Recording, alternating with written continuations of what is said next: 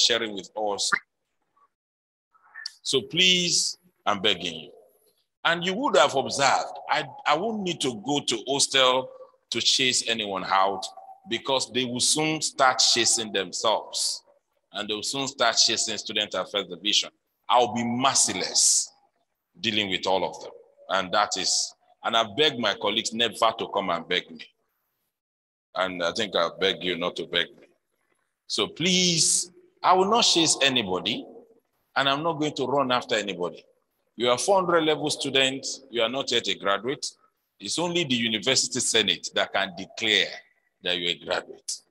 You are just final year student. I'm not angry because you don't know. So, but you are just our final year student. Until we so decree that you're a graduate, you are never a graduate of this university until Senate says so. So please let, and not even soon to graduate because you don't know how soon. there is what we call FNG1, FNG2. And after FNG2 is withdrawal. Final year not graduating one, final year not graduating two, and withdrawal. So those things are there. You may not know, but we know. I've been member of Senate since 2014, so it's not new to me.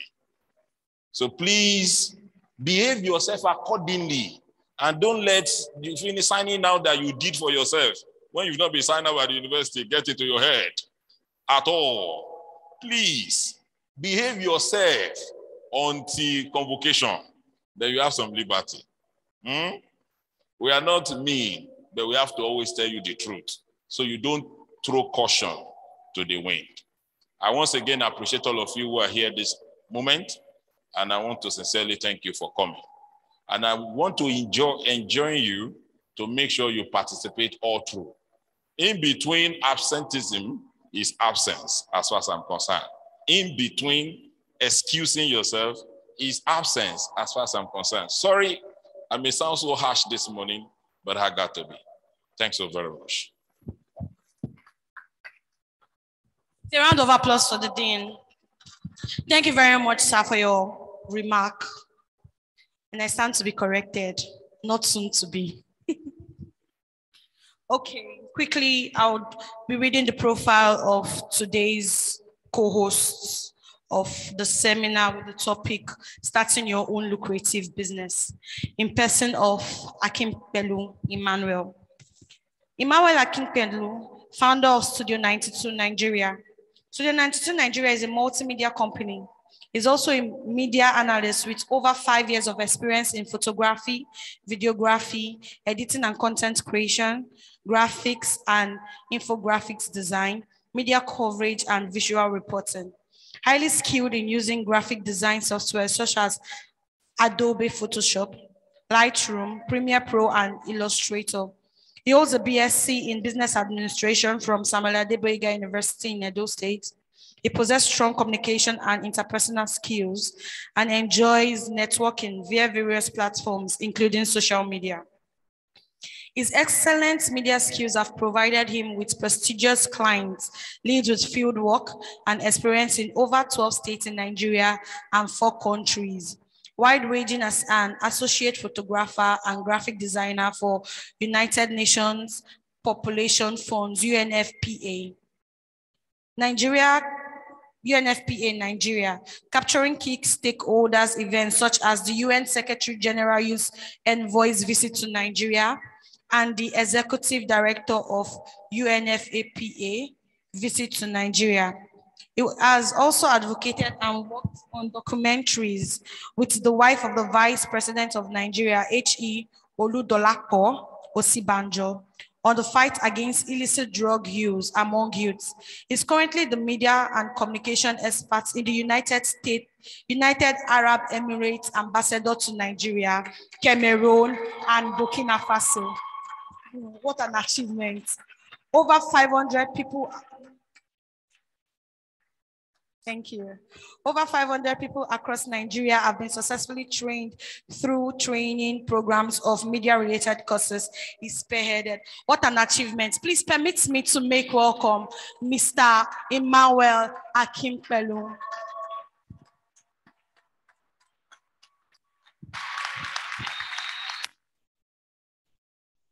Good morning, everybody. Sorry, can you all hear me?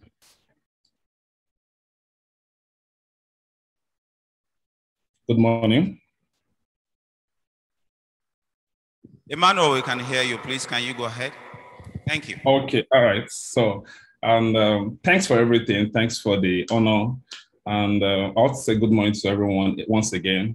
I want to appreciate the Honorable Dean um, Dr. Ijala. I want to thank um, Mr. Shegun for this privilege.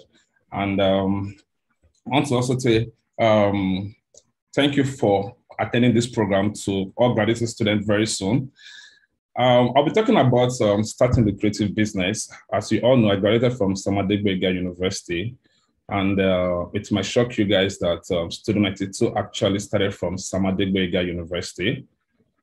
And um, okay, so I'm going to give a brief breakdown on about Studio 92. Studio 92 started in Sam University when I started um, um, a group, or we created a group with Adura. I'm sure you guys are familiar with Adura.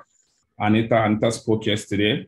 So we came together as group of um, creative, um, creative students, started our content. Adura is currently doing very well in IT. It deals with website designing, website branding, and stuff like that.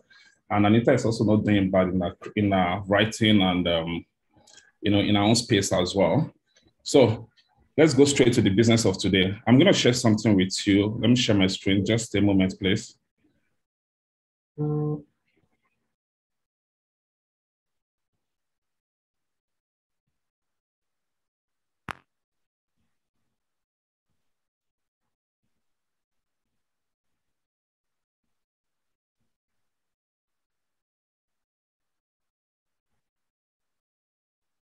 Um,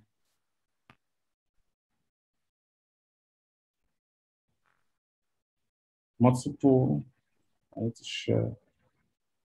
Sorry, media guys, can you please allow me to share the screen? Can you accept from your end?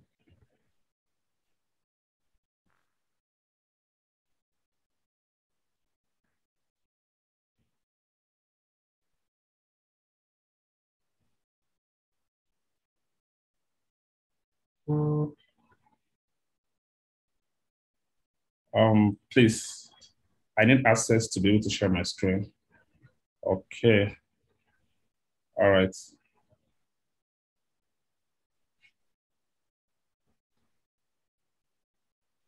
So is that visible to everyone?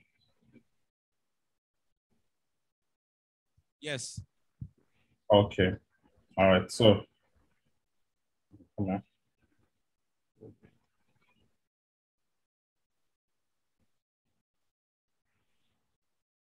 Okay, so talking about lucrative business, what is lucrative business? Lucrative business has to do with anything that um, creates wealth, make profits. You know, you're exchanging your product and services for profits. I deal with services mainly, as you all know. I don't produce anything, but it's not bad if you're producing. I deal with um, multimedia and um, graphic design. I'm actually in the tech space. So there are a few things I would love you to consider. And um, please, you all permit me, most of my um, topic or most of my conversation will be related to my stay and my time in SAU because frankly speaking, Sam Adegboyega has actually contributed a lot to my life. The people I met there and um, the people I'm still dealing with till now. Let me, uh, you guys might not remember, but uh, let me talk about Mr. Ezekiel Akintola. He was one of the ICT um, staff and um, Mr. Babatunde Taiwo as well. Both of them were my, you know, mentor in school. Then always pushing me like, okay, man, you have to do this, you have to do this, you have to do this. And um, today I'm grateful that you know I met both of them. Super grateful I met both of them. So there are four things I would love you to consider before starting a business. You know, number one, what do you love doing? You know, you don't just want to do business because, oh, someone is um, thriving in this space. Okay, let me just go there and, um, you know, do the same thing. You know, after, when we came out of school and then I continued with my photography stuff, my media stuff, uh, it took me about three to four years. Yeah, because we graduated 2016 and um, let me say, I didn't come to Limelight until about um, 2020, there about, and people started coming like, okay, Mano, I want to learn photography. But the question is, why do you want to learn photography? Do you actually have a knowledge or do you have a passion for this thing? You know, it's all about passion. What do you love doing? Because if you don't have passion for it, over time you're not making profit. People are not calling you. You get tired. You look for the next business to do. So you need perseverance for this. So, what do you love doing? What do you have passion for? Do you have passion for you know making air? Do you have passion for you know acting? You know the, what you just love doing. You know something you can do without uh, anybody stressing you.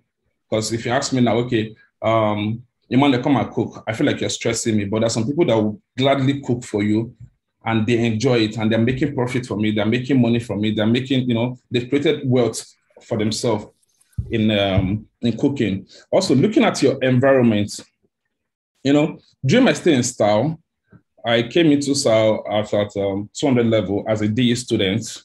So before then, I went to a graphic school in um, Abuja called DOT.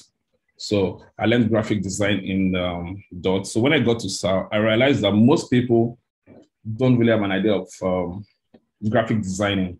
So I I walk up to Mr. Ezekiel as a then I was like, oh, Mr. Ezekiel, I can design and um, okay, would you like to try me out? I was like, yeah, he gave me a couple of um, school jobs to do, design some um, flyers for school uh, uh, website as a then, you know, and I was like, okay, cool, you can do this. So I started doing that. Then before you know it, I started doing graphics for my friends, doing assignments for my friends.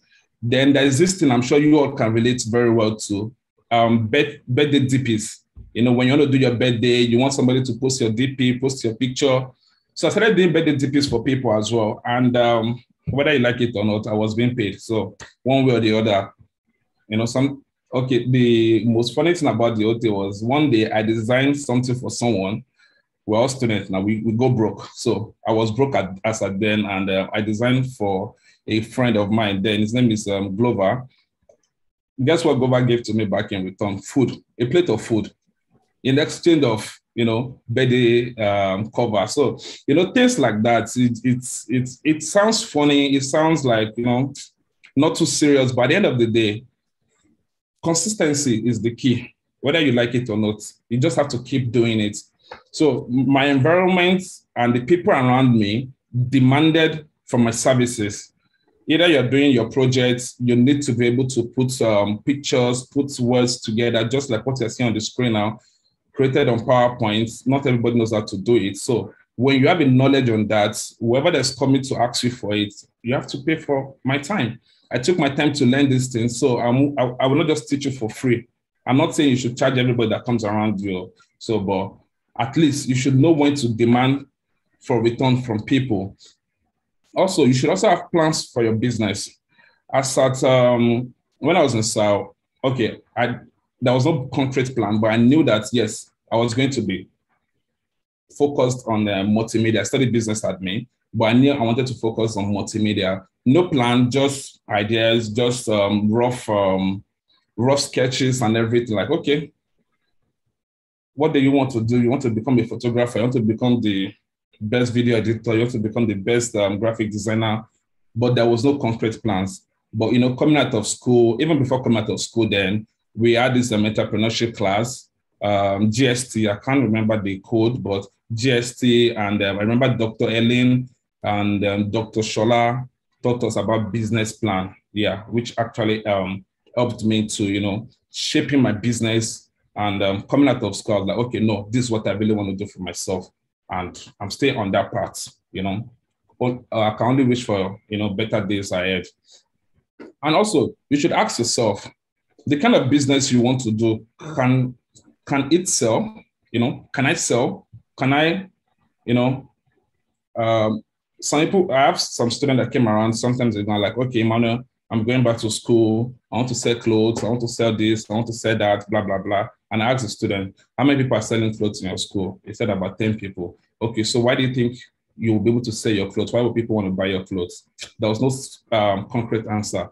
So I, I him to look for something else, to be original or, you know, to be different from what other people are selling. So people can actually buy because if ABC are selling clothes, it will be difficult for me to buy from D, you know, so you should um, ask yourself, okay, can I sell this business learn about the pros and cons of any business.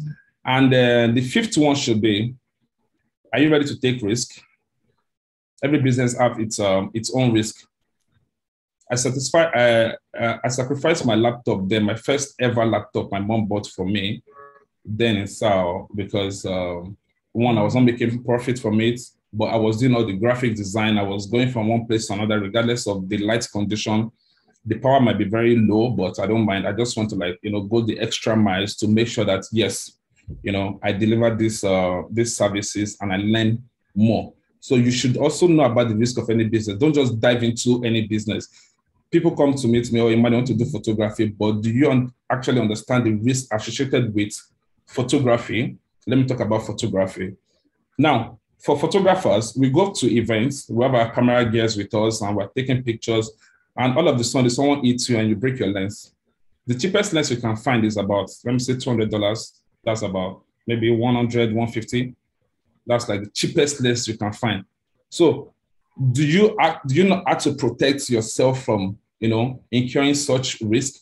So before you dive into any business, you need to know the risk of all business. You know, you don't just um, um, say, okay, no, this guy is making profit. Let me dive into it and start making money. No, you should know the risk of every business. Now, I'll be talking about um, few businesses you can start with about 200,000 in Nigeria. I'm sure most of you want to do that. 200,000 is not a lot of, it's a, quite a lot of money, but not that much looking at the economy in Nigeria.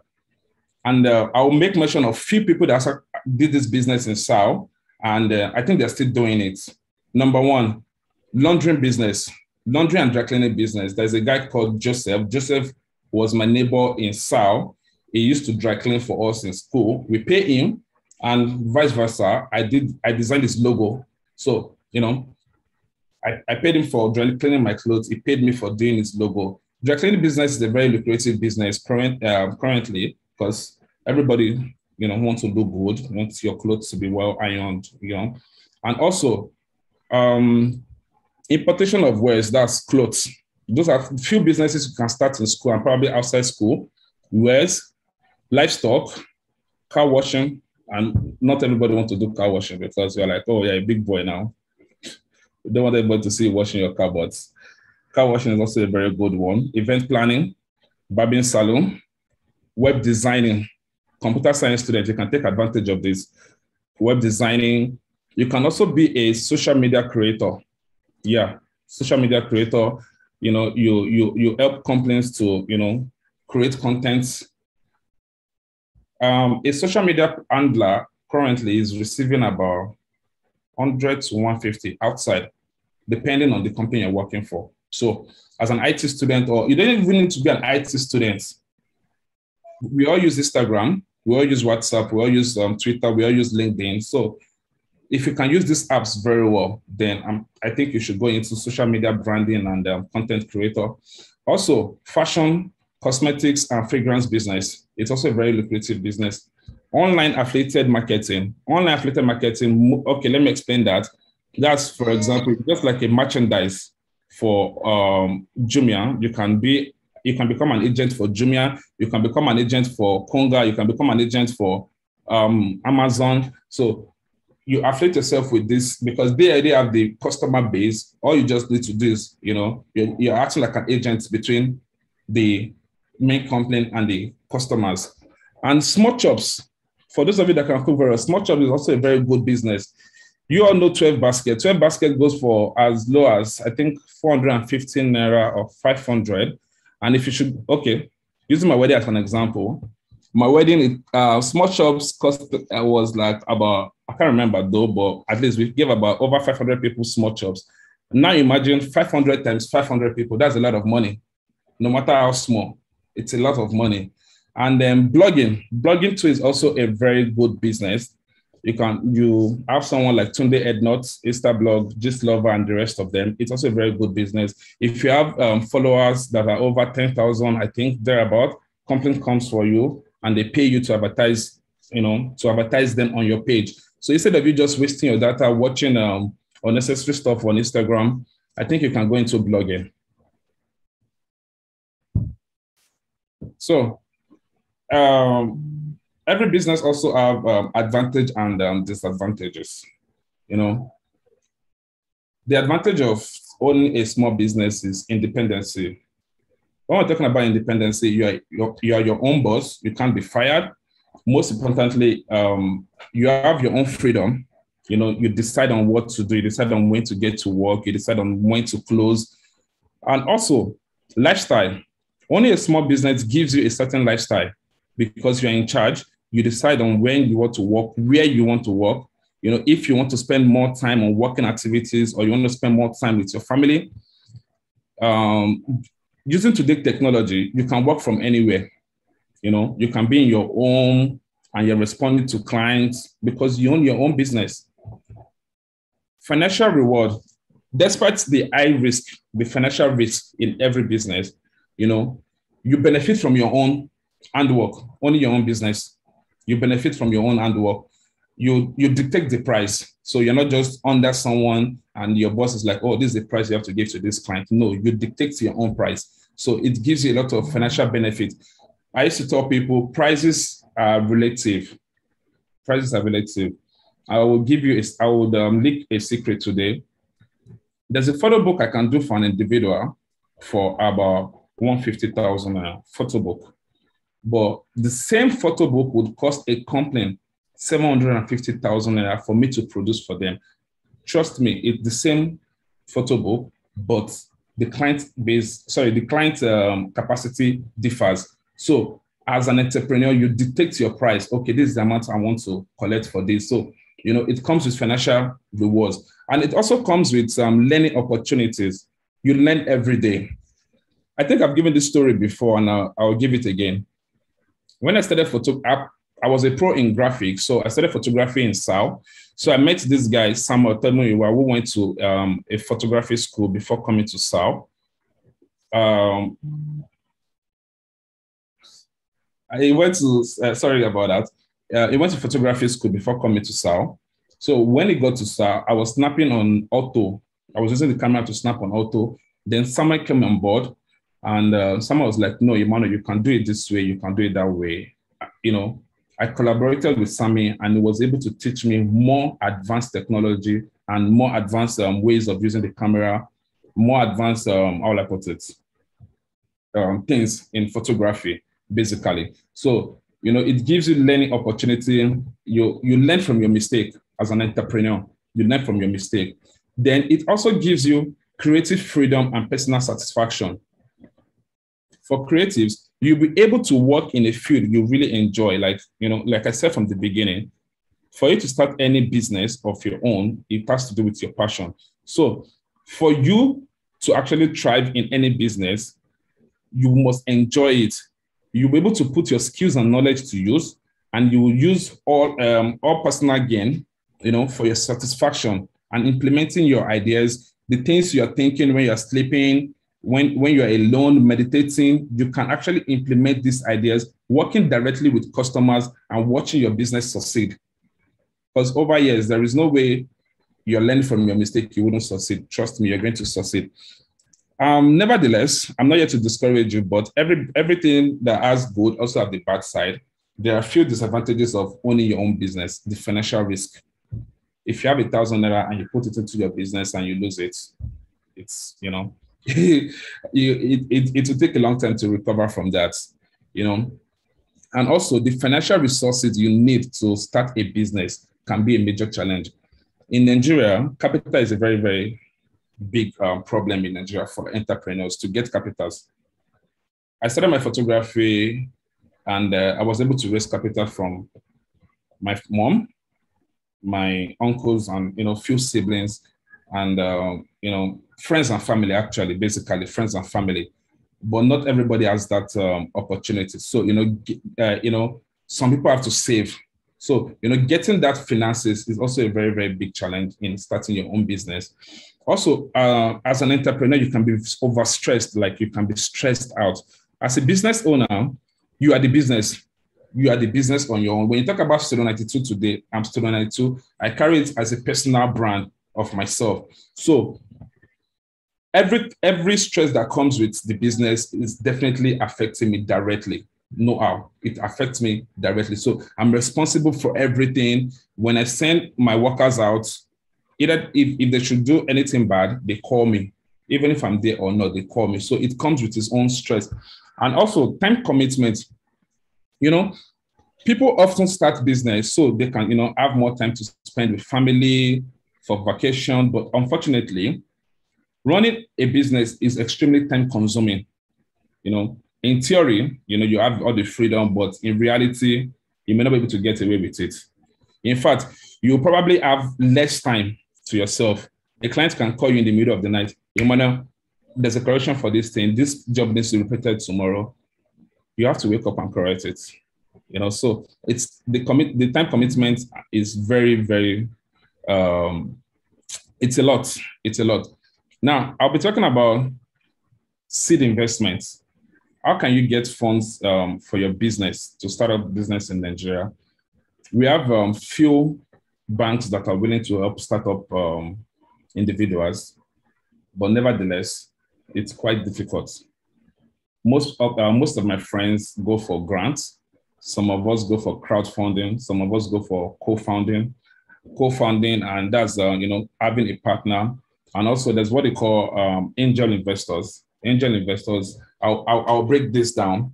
Now, when we're talking about grants, grant is an amount of money given to an individual or you know a specific business for for um grants can come with um sorry i'm trying to remember something there was this grant we received from gem gem is world bank uh a friend of mine actually received it for his own um, studio the uh, sorry grant comes with some timeline some grants you you end up paying back they are just like loans if anybody should give you grants, if an embassy gives you grants, they will definitely monitor your business. You know, so grants is also it's it requires a lot of paperwork. You know, so it's not all about you just going to the embassy and like, oh, I want grants for my business. No, it requires a lot of paperwork. So I'm, I will list few, you know, few companies that can actually give you grants. We have um, Shell. There's um, um, Shell. Um, I think they're in Lagos. Shell gives grants. We have um, the Ford Foundation. We also have youth employment in agriculture pro, um, agri um, program. That's trending currently because um, the government is trying to channel a lot of the um, economic resources into agri. So a lot of people are getting a lot of um, agri um, fundings. And we also have crowdfunding. Crowdfunding is not really in use in Nigeria. Crowdfunding is when a lot of people come together to fund your business most people don't really use it in Nigeria for businesses like that. I'm sure you guys all know crowdfunding. Maybe you've heard of um, someone that could not pay school fees. People raise um, crowdfunding links on Instagram, on um, Twitter. But actually, we can use this for business in Nigeria. Quite difficult, anyways. Co-founding is the best for me. Co-founding is the best for me. Reason being that either you're having the idea or you're having the money. Then your partner is either bringing the idea or the money. So, and also you have to be careful of the kind of um, um, information you share with people. There's some people you give them your business breakdown, and trust me, boom, they move away with your business ideas, they establish it, and you just be there. So you have to trust who you're sharing your ideas with. I've had a lot of business with um, Adura, Anita, and um, you know, a couple of, of um, Isaac as well, Isaac Odubesson. Yeah, you know, so we've shared a lot of um, business ideas, and um, there are few people that I really trust when it comes to, you know, business and um, investors. Investors, investors are also good. You know, foreigners, people coming to invest in your business. But before I can invest in your business, you must have something on ground. I won't just bring my money and um, you want to start. You want to use my money for startup? No, I need to see your money. Your business is ongoing. Then I bring my money to you know I invest my money in your business to grow your business and have a certain percentage of your business. So those are the few um, funding options we have in Nigeria. So before I move further, I will give a story about myself and importance of you know having your own business. When I left um, Samadebega University, I went to Abuja. No, I went to Lagos. So just a brief story about myself. I went to Lagos. I was in Lagos for a week, rested for a week.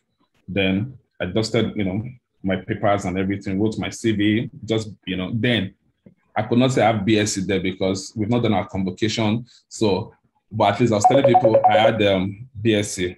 So I started looking for jobs up and down. I was able to get a job in um, a studio. And that was where I learned, um, I developed myself, or sorry, yes, I learned because it was like um, an um, intern process for me in photography. I was just doing little in, um, you know, in SAU, but when I got to the real world, I was able to like um, deal with a lot of gadgets, deal with a lot of lights, deal with a lot of customers, you know, studio works basically. And um, I was able to build myself. Then I went to, I went for my NYSC in, in um, Abuja. While in Abuja, I continued my photography business. I, I went for an event in Transcorp. I was snapping. That was where I met my current boss. So I don't know. It's it's Grace, but I'd love to share the story. I met my current boss there, and uh, he loved the pictures I took. He was like, "Okay, can you come to the embassy to take one or two pictures?" I was like, "Okay, sir." That, then he was the deputy ambassador of UAE. So I went to the embassy, took some pictures, and I was like, "Oh, fine, cool. You know what? Uh, come on board. I would love it to. I would love to have you as one of my staff." And that was how I got the job without doing any interview. I, I was able to get a job based on the skills I learned in school and outside the school. Because outside the school, people will say, No, I'm done reading, I'm done doing this, I just want to relax. No. If you're outside the school, you are learning more. Sincerely, outside the school, you actually learn more. People say on the street, yes, you learn more on the street, you know. So that was I was able to get a job and I kept on developing myself. And um, still, I could not, you know, I could not drop. I'm still 92. I kept on with my personal branding, kept on with my business, and you know, so that was how I've been able to like you know build my brand to today. Still, to today, I'm still learning anyway. So it's not like I'm fully grown or fully established like that. No, I'm still learning to today. I still go for seminars. I still take um, courses on business and um, entrepreneurship um, conferences. So that's just um, the basic things that brought me or that's keeping me to today. And uh, I think I don't want to take much of your time because I was once a student like you, so I don't want to bore you with so many stories. I, that's why I decided to keep it short.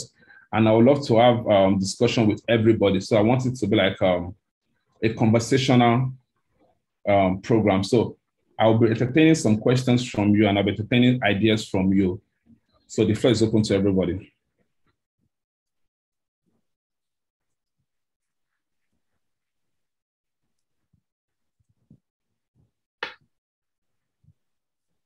Please, does anyone ask a question? Please indicate by raising your hand up.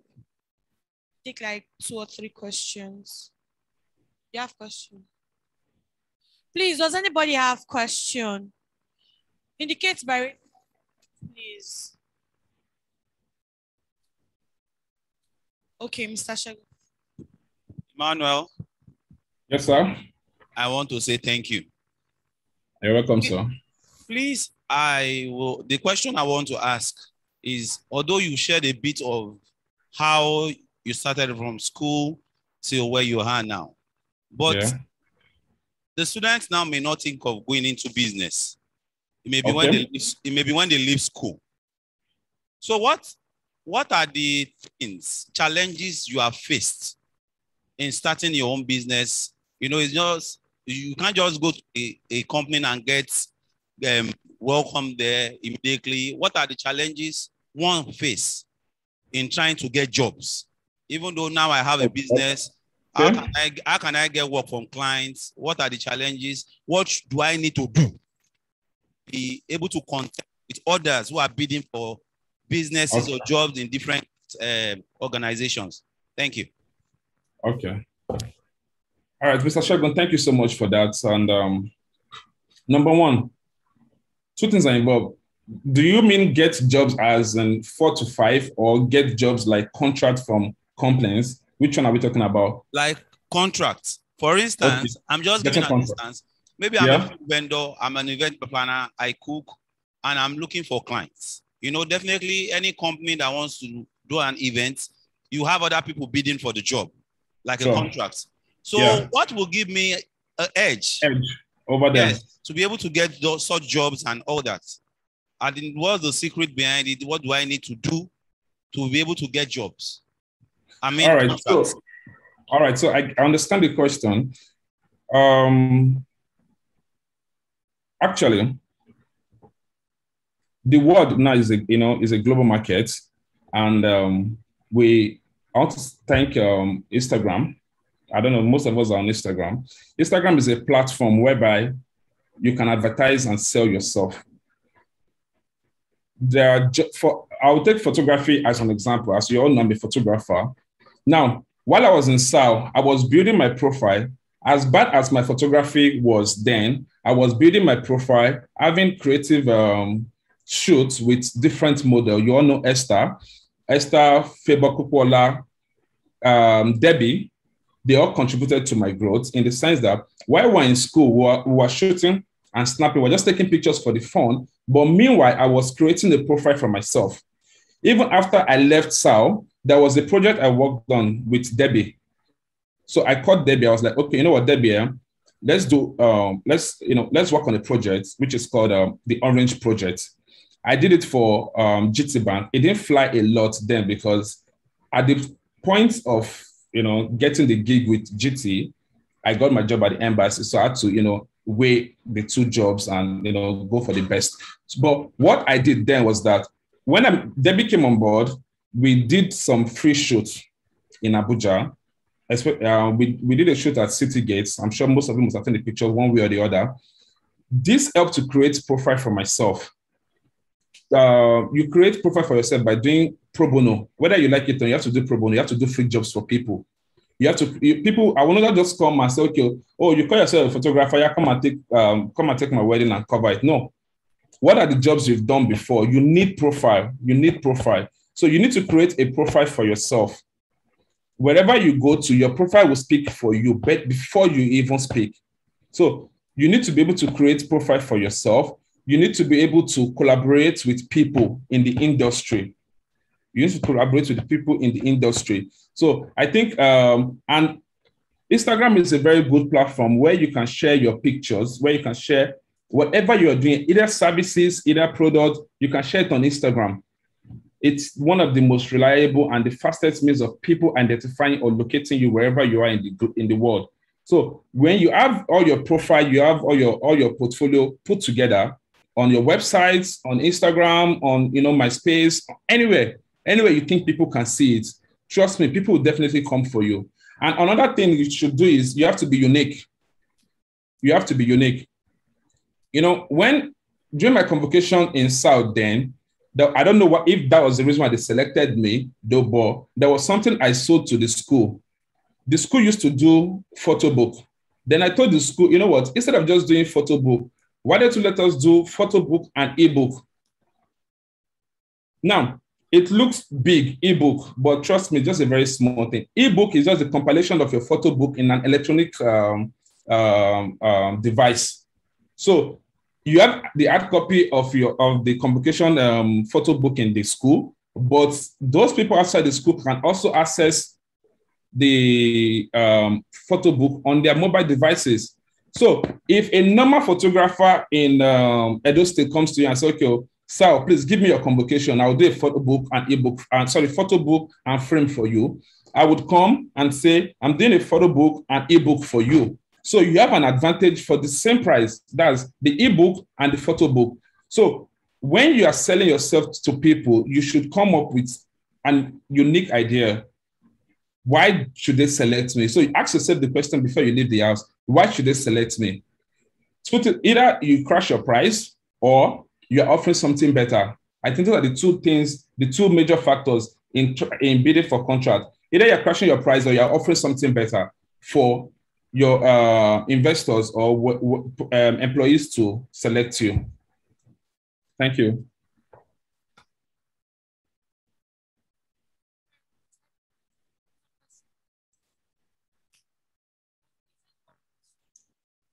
So do you have another question, please?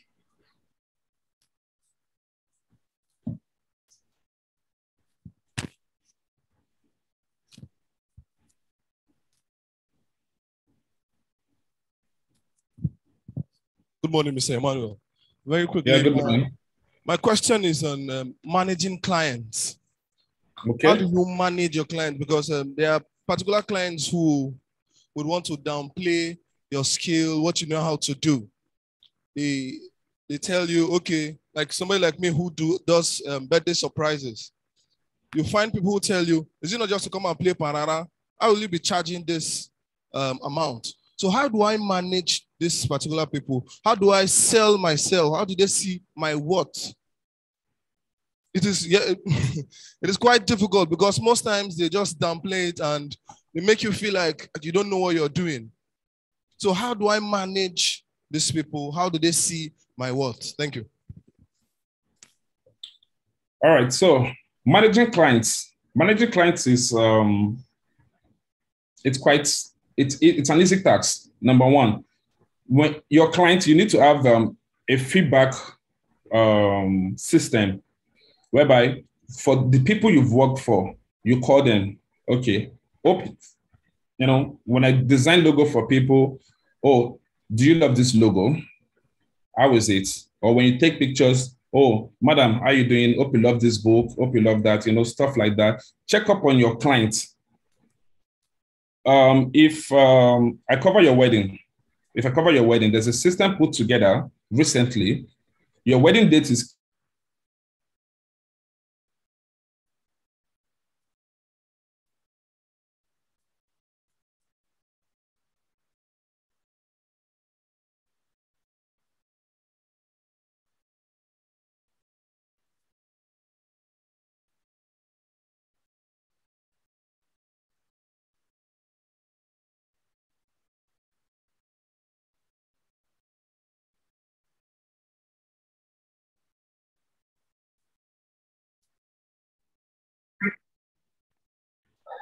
All right. Sorry about that. So, as I was saying, not all, all clients are meant to be managed or are meant to be retained.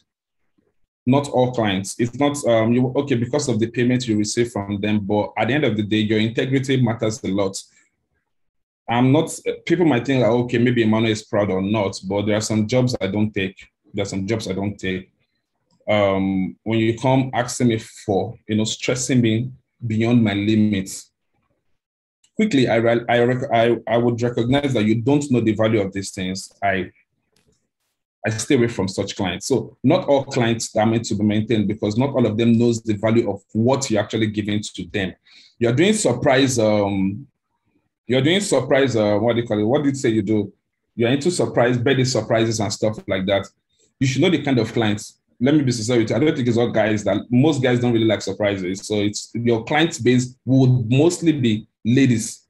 So if definitely a guy is, guys that will come and downplay you because they'll be like, oh, it's not just for you to come and blow and go away. No, but girls actually know the values of this thing because girls actually carried away by the fantasy and uh, and by the moment. So you also need to select your clients very well. Not everybody are meant to be your client, and not everybody are meant to be retained.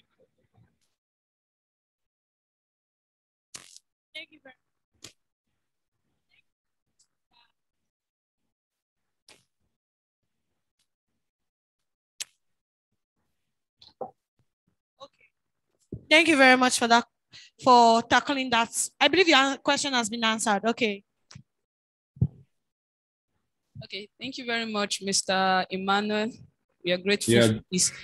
My name is Ajoke, and what I want to ask is we have a lot of graduates who are scared of the world out there because we are often told that uh, the world out there is difficult. You know, we are just going there and we don't know what we are expecting, but we are told things they are not easy.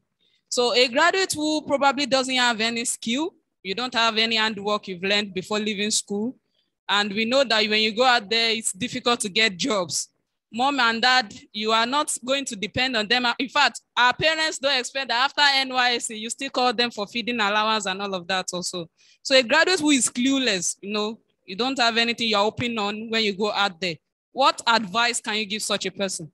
Thank you. All right, sorry, before you go, Ajoke, please give Ajoke the microphone. I want to ask her a question, please. So, um, Ajoke, what do you love doing personally? Like, what do you enjoy doing on your own? Okay.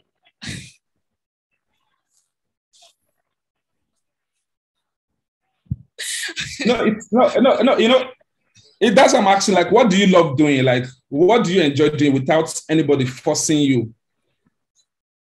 Don't tell me it's prayer, please. okay.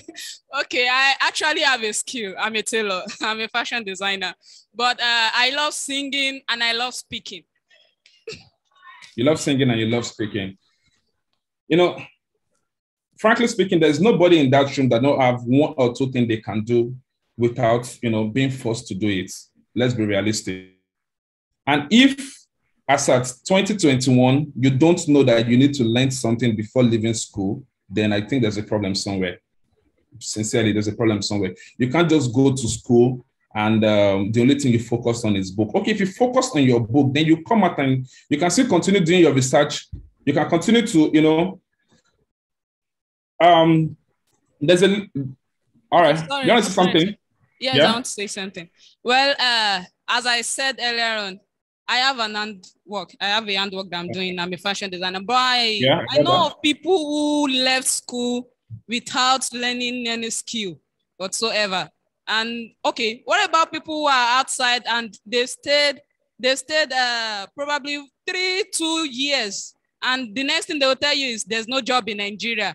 I'm a graduate and now I'm an Okada rider and whatever and so on and so forth. So I'm just asking for people Yeah. who don't, you don't have an handwork before you left school and getting a job outside here is difficult.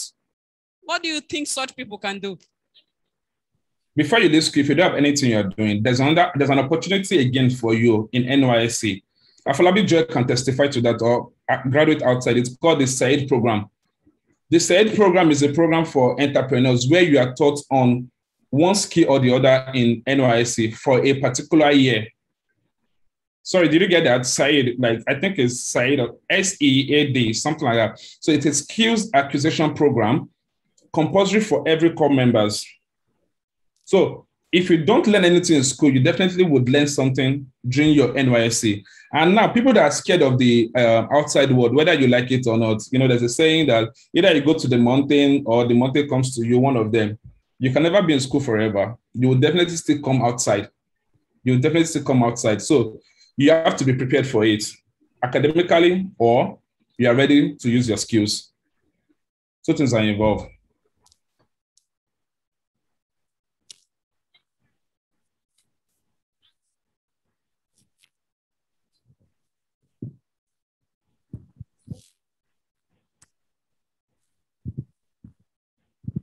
Thank you very much, sir. Please, I have two questions actually.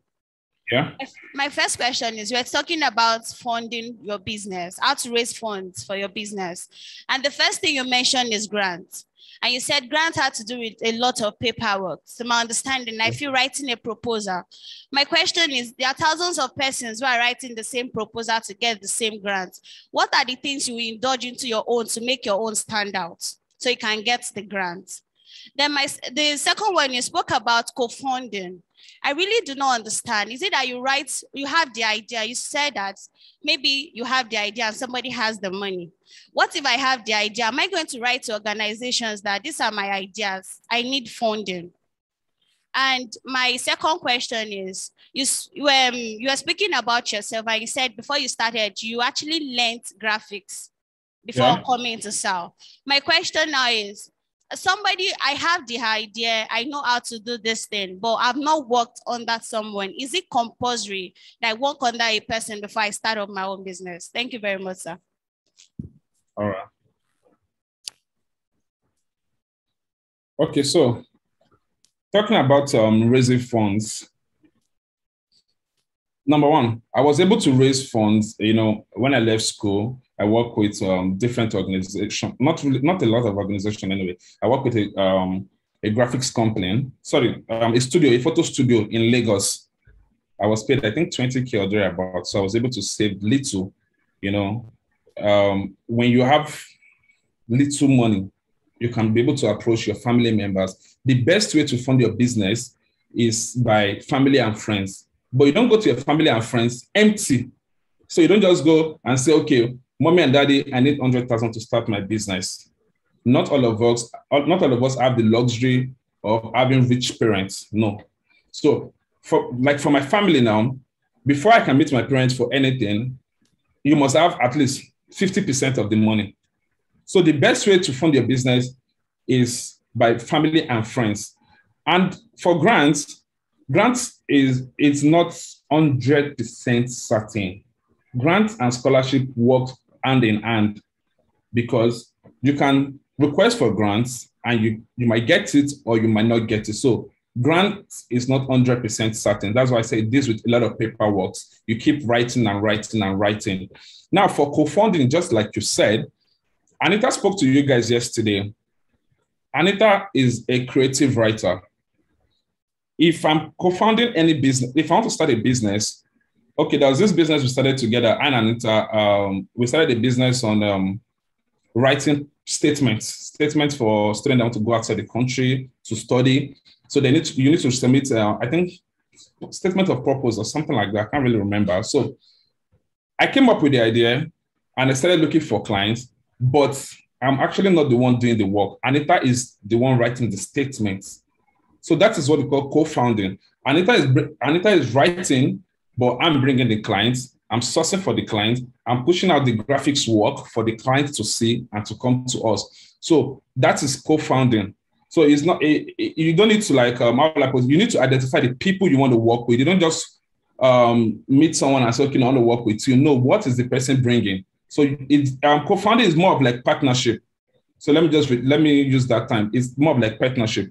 So you said another thing. So I'm trying to. Okay, do you have to work under someone before you stay on your own? No, you don't have to work under someone. No, you don't have to work under someone. But there's something that is very important for every entrepreneur.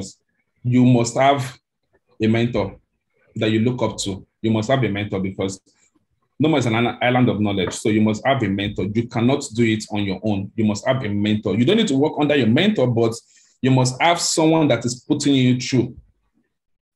My mentor is Gabriel Adeyemo. Gabriel Adeyemo is a communication expert at the UN. He was able to put me through when I got into the old diplomatic sector.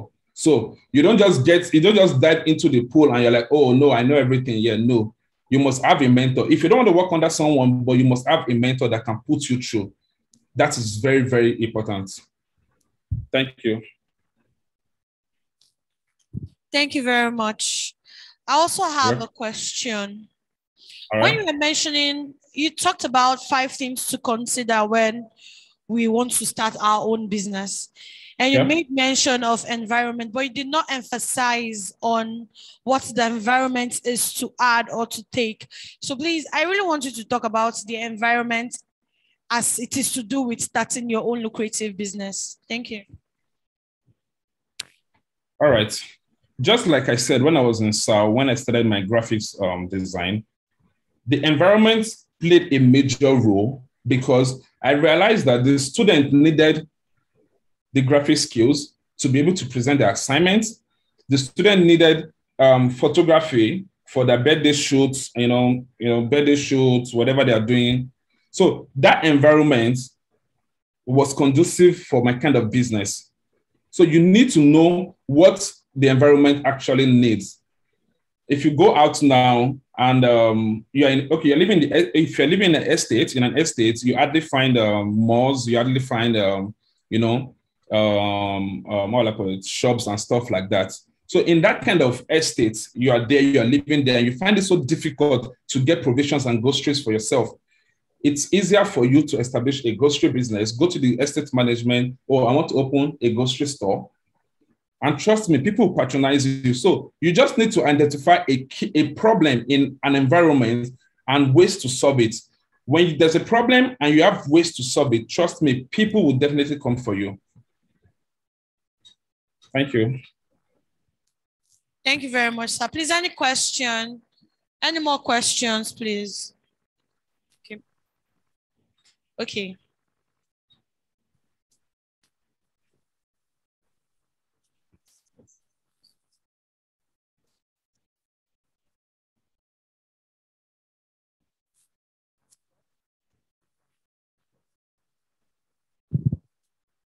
There you are. Good morning. Good morning, sir. My Mr. Falabi. Yeah, how are you? I'm fine. Long time. Yeah. Yeah.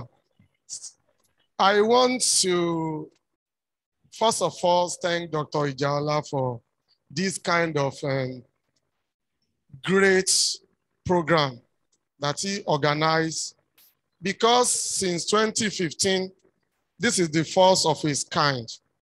And I want to say it because it is the best thing that will happen to the 400 level students. The word of theory and the word of practical, they have link, but they also are separate words. Yeah. And uh, my friend, Mr. Ajayi, for doing a good job and all the people that have really worked. And I also want to thank you for one thing. And Anita, Bessie, and uh, Ubong has emphasized, we should really emphasize that the university has really given you a better platform to become who you are today. And apart from the university patronize you, even individually, we also patronize you.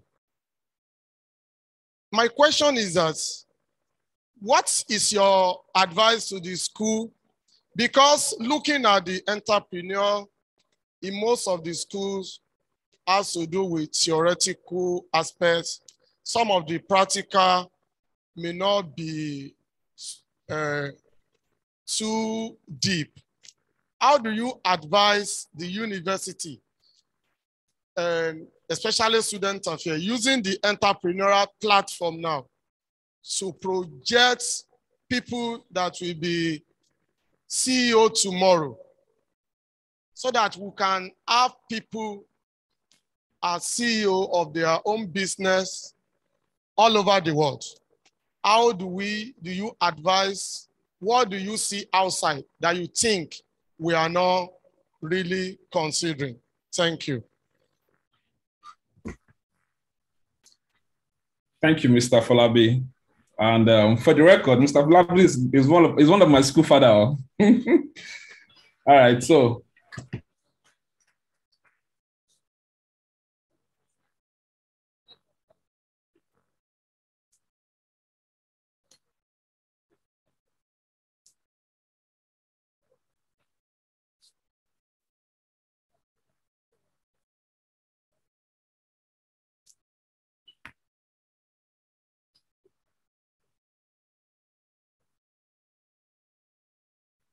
people like um, Christina Singbo. I think Christina Singbo um, deals with um, wares. Someone like um, Joel, Joel deals with clothes to come and exhibit their products in school. While exhibiting their products, they'll be able to share and uh, um, give students first-hand experience on how they deal with the outside world. I don't know if you understand what I'm saying. So the school should um, give room for entrepreneurship um, you know, um, conference, conference, workshop, and seminars, just something like this, something like this. And the school should also pay more um, attention to, on um, GST, entrepreneurship um, class. I can't remember the GST code, but the school should pay more attention on that.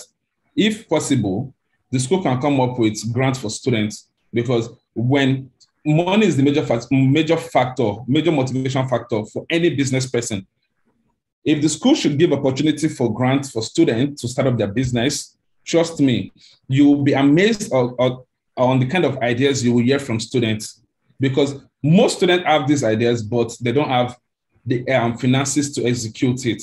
So if the school should pay attention on entrepreneurship and give opportunities for grants and uh, mentorship classes, trust me, a lot of ideas will come out of the school. A lot, a lot of ideas will come out of the school. I have, a, I have a lot of friends from Covenant universities. I have friends from Bowen universities, and they are doing good outside. And they got most of this from inside inside the school.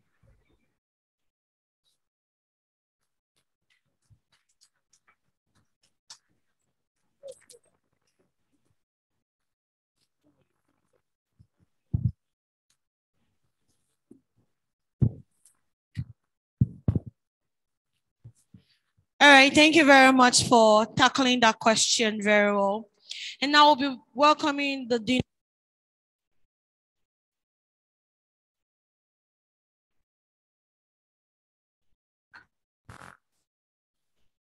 We we missed two things. I missed two things. I missed your wedding date. Uh, my, my Yes, phone sir. had a problem. You will notice Yeah. I wasn't following you up uh, for a long while. Yeah, yeah, yeah. Regularly, I, I noticed that. Sir. I lost your contact. So, but I will get I will get it back now. But I'll cut you up after now, sir. All right, that's beautiful. Thanks so very Yes, sir. much for coming on board today. We really appreciate this. Um, but I will want you to talk about one thing. You right, sir. you are working with uh, United Arab Emirates Embassy Yes, sir. and you are running a studio. Yes, sir. How do you do the collabo? You know, that's a lot of energy, that's a lot of time. And Yeah. make you, uh, because, you know, having a business is good, and you know that starting a business requires a lot of concentration, undivided attention, so that it can grow and become something. So how did you do it that you were able to, you know, ramble between the business and they're also working and flying everywhere with the Arabs? Okay. I think that's a good question to answer. Thank you. Yes, sir. All right, thank you, thank you, sir, Dr. Jala, for that. Um, I think I'm quite privileged, or yeah, Grace. Grace uh, found me because the kind of um, work I do at the embassy is also similar to the kind of job I do outside, which is Studio 92. So I'm still the media analyst to the ambassador. And um, most clients, funny enough, everywhere I go to with the ambassador, I sell myself, not just as Emmanuel, but I sell my brand as to tonality to everybody. So most of my boss friend or most of the ambassadors around are also tonality to clients because I sell myself. And another thing I did before entering the uni- uh, entering the embassy fully was while uh, okay immediately I left so after NYSC. Yes, immediately after NYSC, we started training people. We started training people. I and my partners, Michael, Joe, Anita, and the rest of us, we started training people. I started training people on graphics, photography, and uh, you know everything I do basically. So now one of my guy, one of my staff is online, David Balogun. So what I did then was that I was able to train people and I was able to develop developed a lot of um, ideas just as I have in them. I was able to pass the knowledge to them. And um, even when I'm sleeping, I can easily say, okay, you know what? David Balogun, go and cover this event and he'll cover it successfully and he will come back because I've been able to transfer the same thing I do to him. And um, another thing is that um, photography, media, media is very, very flexible. You can work from anywhere, anywhere. You can monitor your event from anywhere. You know, I'm at the office. I'm, I'm at the office at the I mean at the embassy, and I have my staff maybe covering a job. I can easily monitor them via WhatsApp, Zoom, or you know, any all also using all social media uh, platform. I monitor everything that is going on. So by that way, I'm able to like uh, manage the tool, and also for the clients, I have my weekends to myself. Yeah, so I'm going to work Monday to Friday days that I'm available, I have my weekend to myself. I'm able to cover the um, events that are available for Sonata 2 weekends for myself. And I also get to see my clients as well. So I, you know, it's not easy, but you know, at the end of the day, you just have to like strike balance between um, um, both jobs. During the day, I'm with the UAE. During the night, I'm editing pictures. I'm editing videos. So it's it's it's it's a lot of work. It's not easy. So I wouldn't say it's easy. So it's a lot of work. So that's how I'm able to manage the two um, organizations.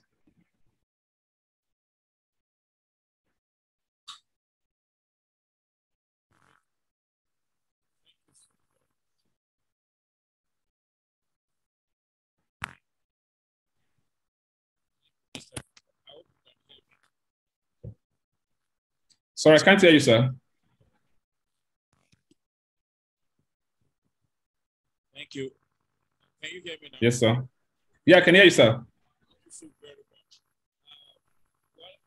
much. Sorry, I can't hear you again. Sorry. Thank you so very much. It's it's quite low. Thank you so very much. I think you can I hear can hear you now, sir. Good. Yes, sir. Um, we are doing our best as a university. I'm saying this because I observed that um, some of our big alumni are on the Zoom already. Uh, Christy Singbo Yeah. is there. She's here to make me a shoe. And um, Otito is already hanging somewhere. He just delivered for one of my committees in the university a set of well def- designed ideas for our admission mobilization. And that is to tell you that we would like to patronize our alumni. I'm actually looking for the size of shoe that Singbo will do for me. I, wouldn't mind. um, and um, but you are still owing me a complimentary card. I didn't forget. It's about two years now, Emmanuel.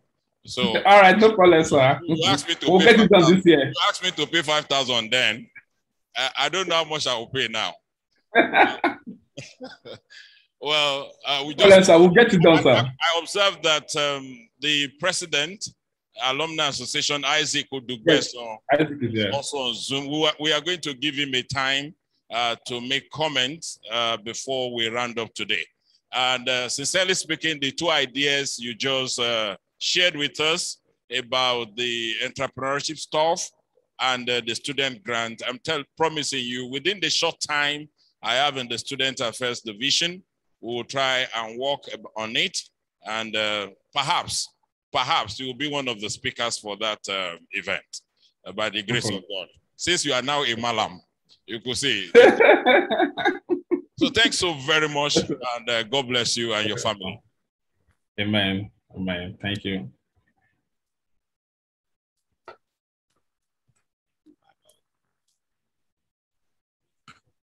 Sorry, I can't hear you, Mr. Sh- Ashagun. I can't hear you, sorry. I can't hear you, Mr. Shagun. I said,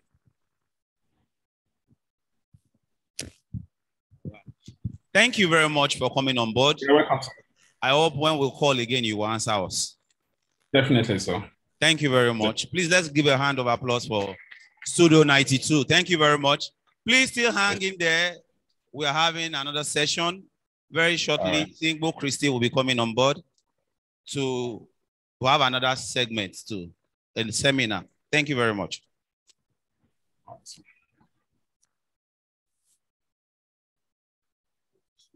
Okay, sorry, please.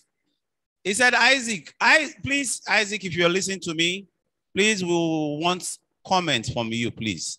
I want to welcome you to the Zoom meeting.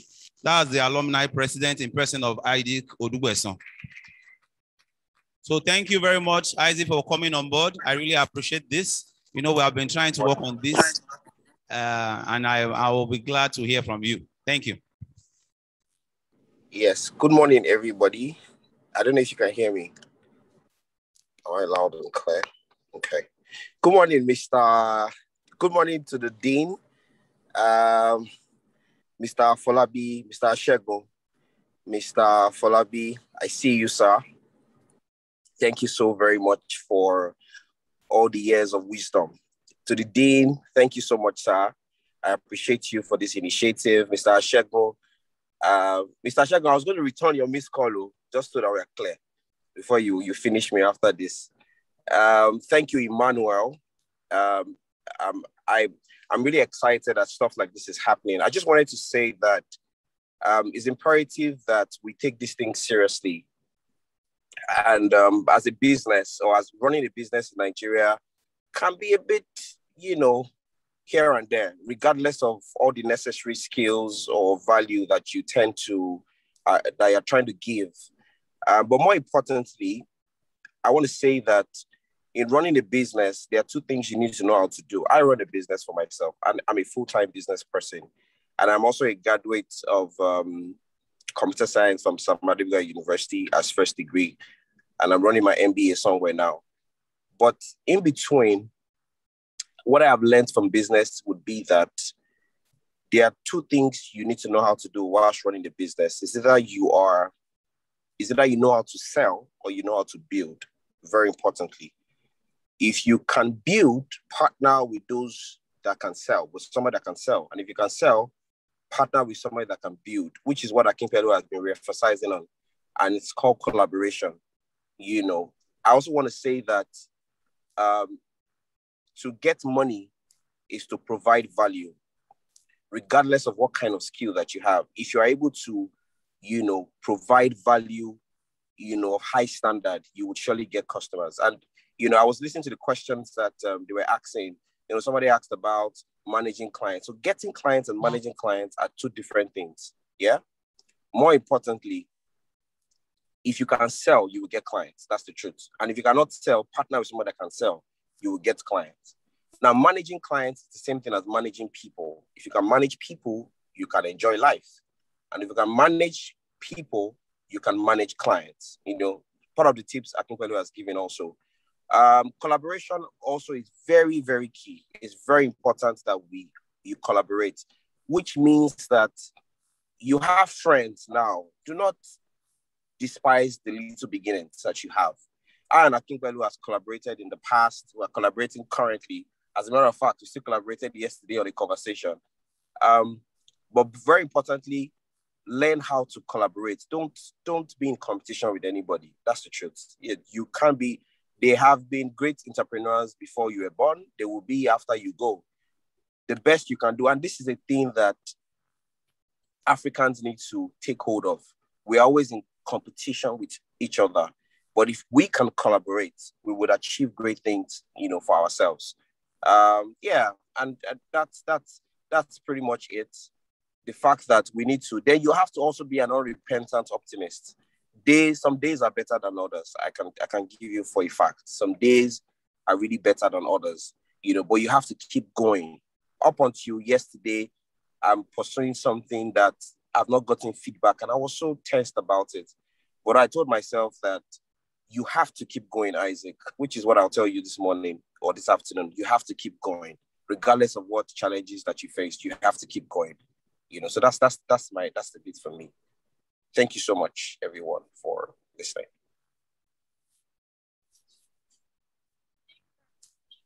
Mr. Isaac, thank you very much. Really appreciate your presence here. Thank you very much for coming on board. Okay.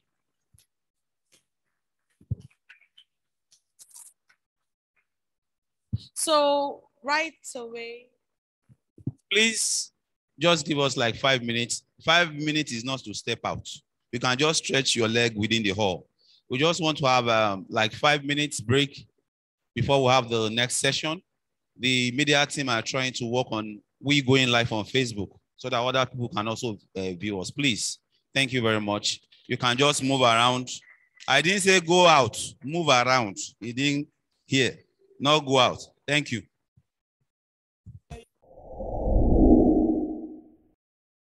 So, and thanks to all the student committee, the student um, departments of the school.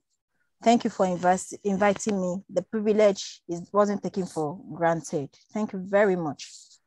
So are we ready for our discussion this morning? Yes. Say yeah, yeah, yeah. Are we ready? Yes. Thank you. So I'll be talking on talent development. I'll be sharing my screen. I have a screen to share. Coming, talent development. Okay. I'm coming. So what is talent? Sorry, I'm trying to share my screen. Oh.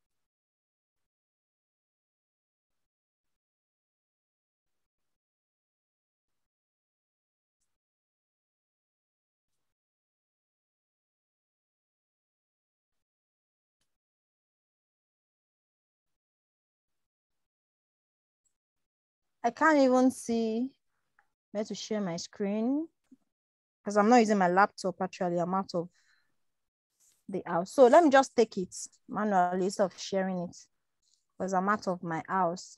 I'm out of the office. I'm not home. Okay. We'll be talking on talent development. Talking on talent development. And okay, thank you. What is talent? I hope we all have ideas on what talent is. And we all have what we think that talent and passion is. We are, they are two different things. But people don't think about people don't think about the talent. They take more of passion. I'll be talking about talent development. First, talent is defined as oh, let me my laptop. Okay. Yeah. So now I can go. Sorry.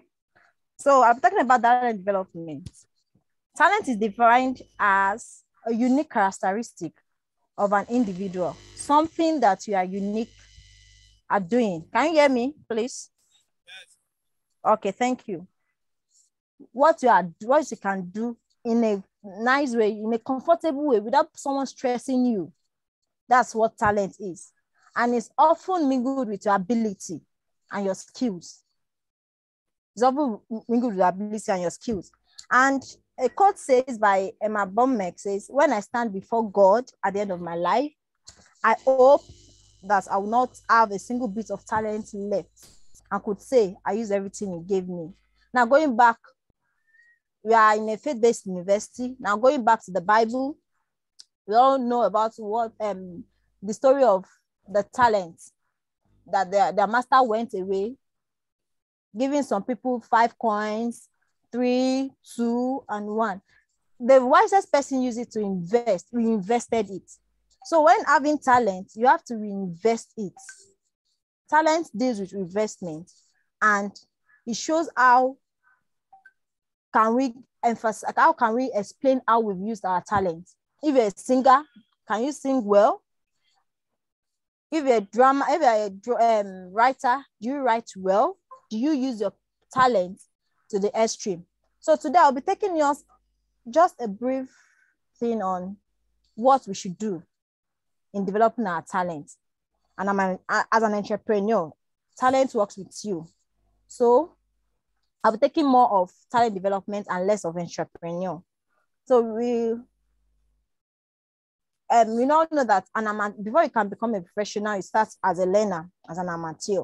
So we have some steps to know on how to develop our, our talents. One, you have to discover and come to the consciousness. You have to discover your talents.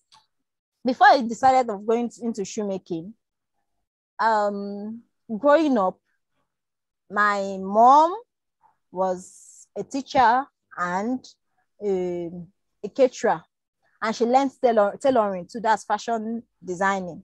So, you know, growing up, you have to press the machine and can do teaching at home on normal thing, just for just snacks at home to, to enjoy your life. But growing up, I say I don't find interest in making chin chin, making snacks or sewing clothes. So then I changed my so I changed my my my focus, learn going to secondary school. The first time I knew I had an idea about shoes when we are going, you know, when you're working with guys in your secondary school, and maybe you're working and your shoe cut off. I tried sorting, solving, looking for a way of sorting their problem, of finding a solution to it. I started trying to mend their shoes as a lady. But later, I found interest in um, bead making. But my daddy called me, said, come, learning this, learning that won't improve your skills. What do you want to do? I said that I want to learn bead. I learned bead. During my, after my, I learned bead that I sold to my friends, Kyoda. Kyoda that you make with beads. I sold it then 100 Naira. So most of us don't have holder. So when I, I brought my beats to school, then at my, on my leisure, at my leisure, I make some beats and give because I don't wear beats. I don't just like it. So I don't, I just do purse, belts, and key. So when I'm start discovering, I said I still find passion in shoe. So whenever I go to the market, I try to examine the shoe I want to get. And when someone walks up to me, the first thing I look at is your footwear. Personally, I won't even look at your. I will first try your footwear. Try to analyze your footwear, how it looks like. Maybe it's like a Jonah shoe or Jesus shoe. Try to analyze it. But coming it, coming out of it after NYSC, no, during my NYSC days, we were told to do. There's this skills acquisition and entrepreneurship development. That's SAID in NYSC. That's what we were to, um, yeah, it's a compulsory thing to do. You have to join a skilled acquisition um, part. So I had to join BID. But I had a private class in shoemaking. Same on my um on the camp eh, during NYSC. I served in Delta. Yeah, so um what's the name of this place? Um that I served our camp self, one village. I shall served in Delta. So during then I, I paid 15,000 naira extra so I can learn shoes. Then my boss was teaching us um fabrics, wrap shoes and everything. But I said, okay, I can't do this because I love male. I love looking at males. I love um, attending to male people. So I'm still talking about discovering your talent. So I sat down. It's okay. Doing ladies' footwear is more stressful, but doing male footwear is less of stress, and you can find just less people doing those kind of stuff. But after I'm doing my rice, I went to Onitsha, start bordering from Onitsha, learning footwear in Onitsha, learning another one in Asaba, then learning bag. So after relocating from my NYSC, when I'm done with my NYSC, I served in the ministry. So there was time for me to relax. I, I enjoyed my NYSC days, but I made it busier for me because I tried to learn a skill. When my and I attended some courses online too. After my NYSC, I got home. I told my daddy, Daddy, I want to learn shoemaking. My daddy said, hmm, Where do you want to learn it? I was residing at Ojo Alaba in Lagos. And where I can learn shoemaking is like one hour to my house. And I'm to pay 100,000 naira to learn. I told my daddy, said, Dad, I don't have money and I want to learn. He said, Okay, I will sponsor. He sponsored me and I started making my footwears. And fortunately, my boss was a lady and that gave me another interest in learning. And that's why I started loving footwear. That's why I started, that's, that's I discovered that I love footwear. I love making things of footwear. I make I make majors for, majorly for male. I don't do I do less of female, but major for male. So I've come to the consciousness that okay, when you are finding something doing and you're enjoying it, that's your talent. You know, you are not forced to do it. You enjoy what you do. And the second one is be intentional about your growth. And don't let the growth. It was not easy starting as an entrepreneur.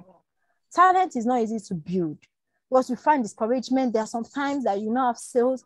Okay, as an as a as a footwear as a as a shoemaker, there's sometimes that during rainy season you don't find much sales, and your sales your production level is always low because of the weather. We need more of sun and we need more of sun and more of um, fire or something or something light. But you know, the weather will be cold and mild and it takes a longer process. You have to be very careful where you don't have to get discouraged. Be intentional about your growth. And if you are, as I was doing my shoemaking business, I was already going for a postgraduate student, uh, postgraduate course. I attended a postgraduate course in 2018. I go weekends, so shoot weekends I don't I don't go to workshops, but during the week I go to workshop. So I try to engage myself. It wasn't that it's not that I wasn't I was not gainfully employed. I was employed. I worked with FCMB, but I see that okay, this banking is too stressful.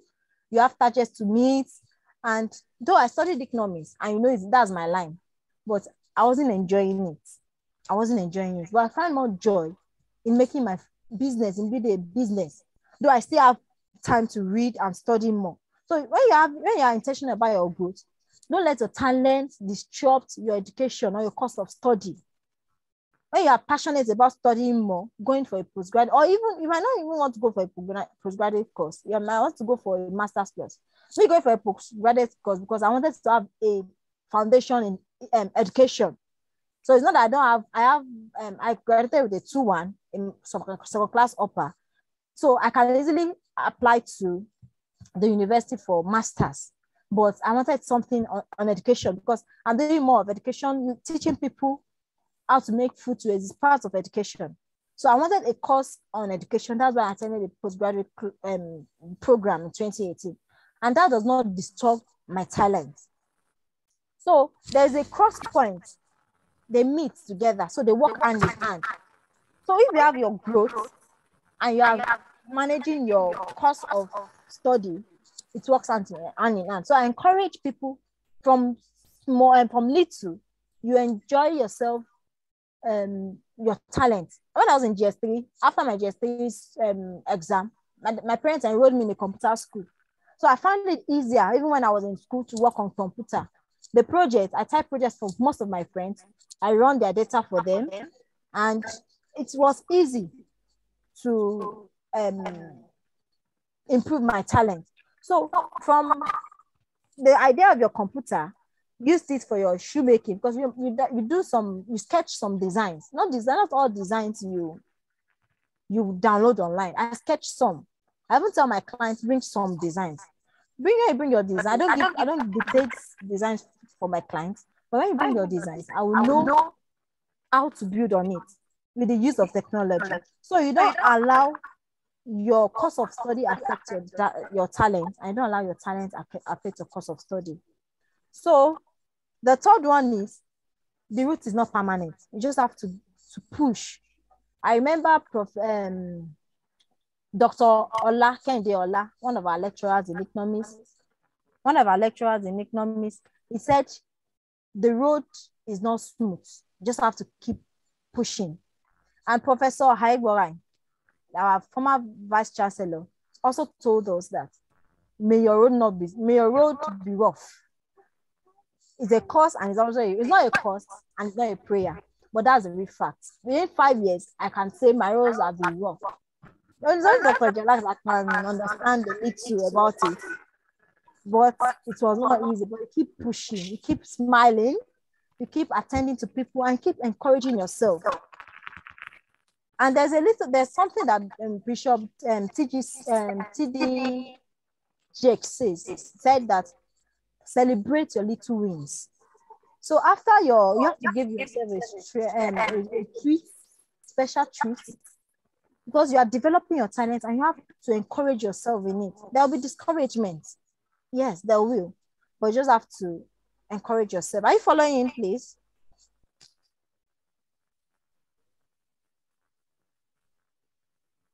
Can we hear me? All right. So now we are going to, I've spoken about steps to develop our talents, and I'm talking, talking about ways to develop our talents. The major and the important way is why. W-H-Y, why. The word why. The word why. You have to formulate your why. Before you want to go, before you want to study a course, you have to say, okay, why do I want to study this course? For example, if I want to eat, I say, okay, what do I want to eat? Why do I want to eat this food? Formulate your why. That why will keep pushing you, even when you are trying, try, when you try relenting, your why. Why do you do what you are doing? Why are you studying your, why are you studying economics? Why are you sleeping? Why are you singing? Why? Listening to see motivational speakers, they have many things to tell you. Oh, aspire to aspire to require or something, something. It's not, it's not the same the way the the way it is in real life. When it's good, it's, it's good to listen to motivational speakers. Fine, I'm not disputing that, but you have to explain your own concept. Sit down, know your own meaning. Sit down and try to analyze, strategize. Have your. I listened to um, Akinpelu's um, speech. He has said major things because he has, you have to start from a little beginning. People will not know when it's Rosalie. That's when people will know you. When you start struggling, your sleepless nights, how you have a dick on your customers, you they will not know that. But you know, you, I have to sit down and make a strategy of how to push yourself forward, your why. To formulate your why. And the major one is um, knowing your purpose.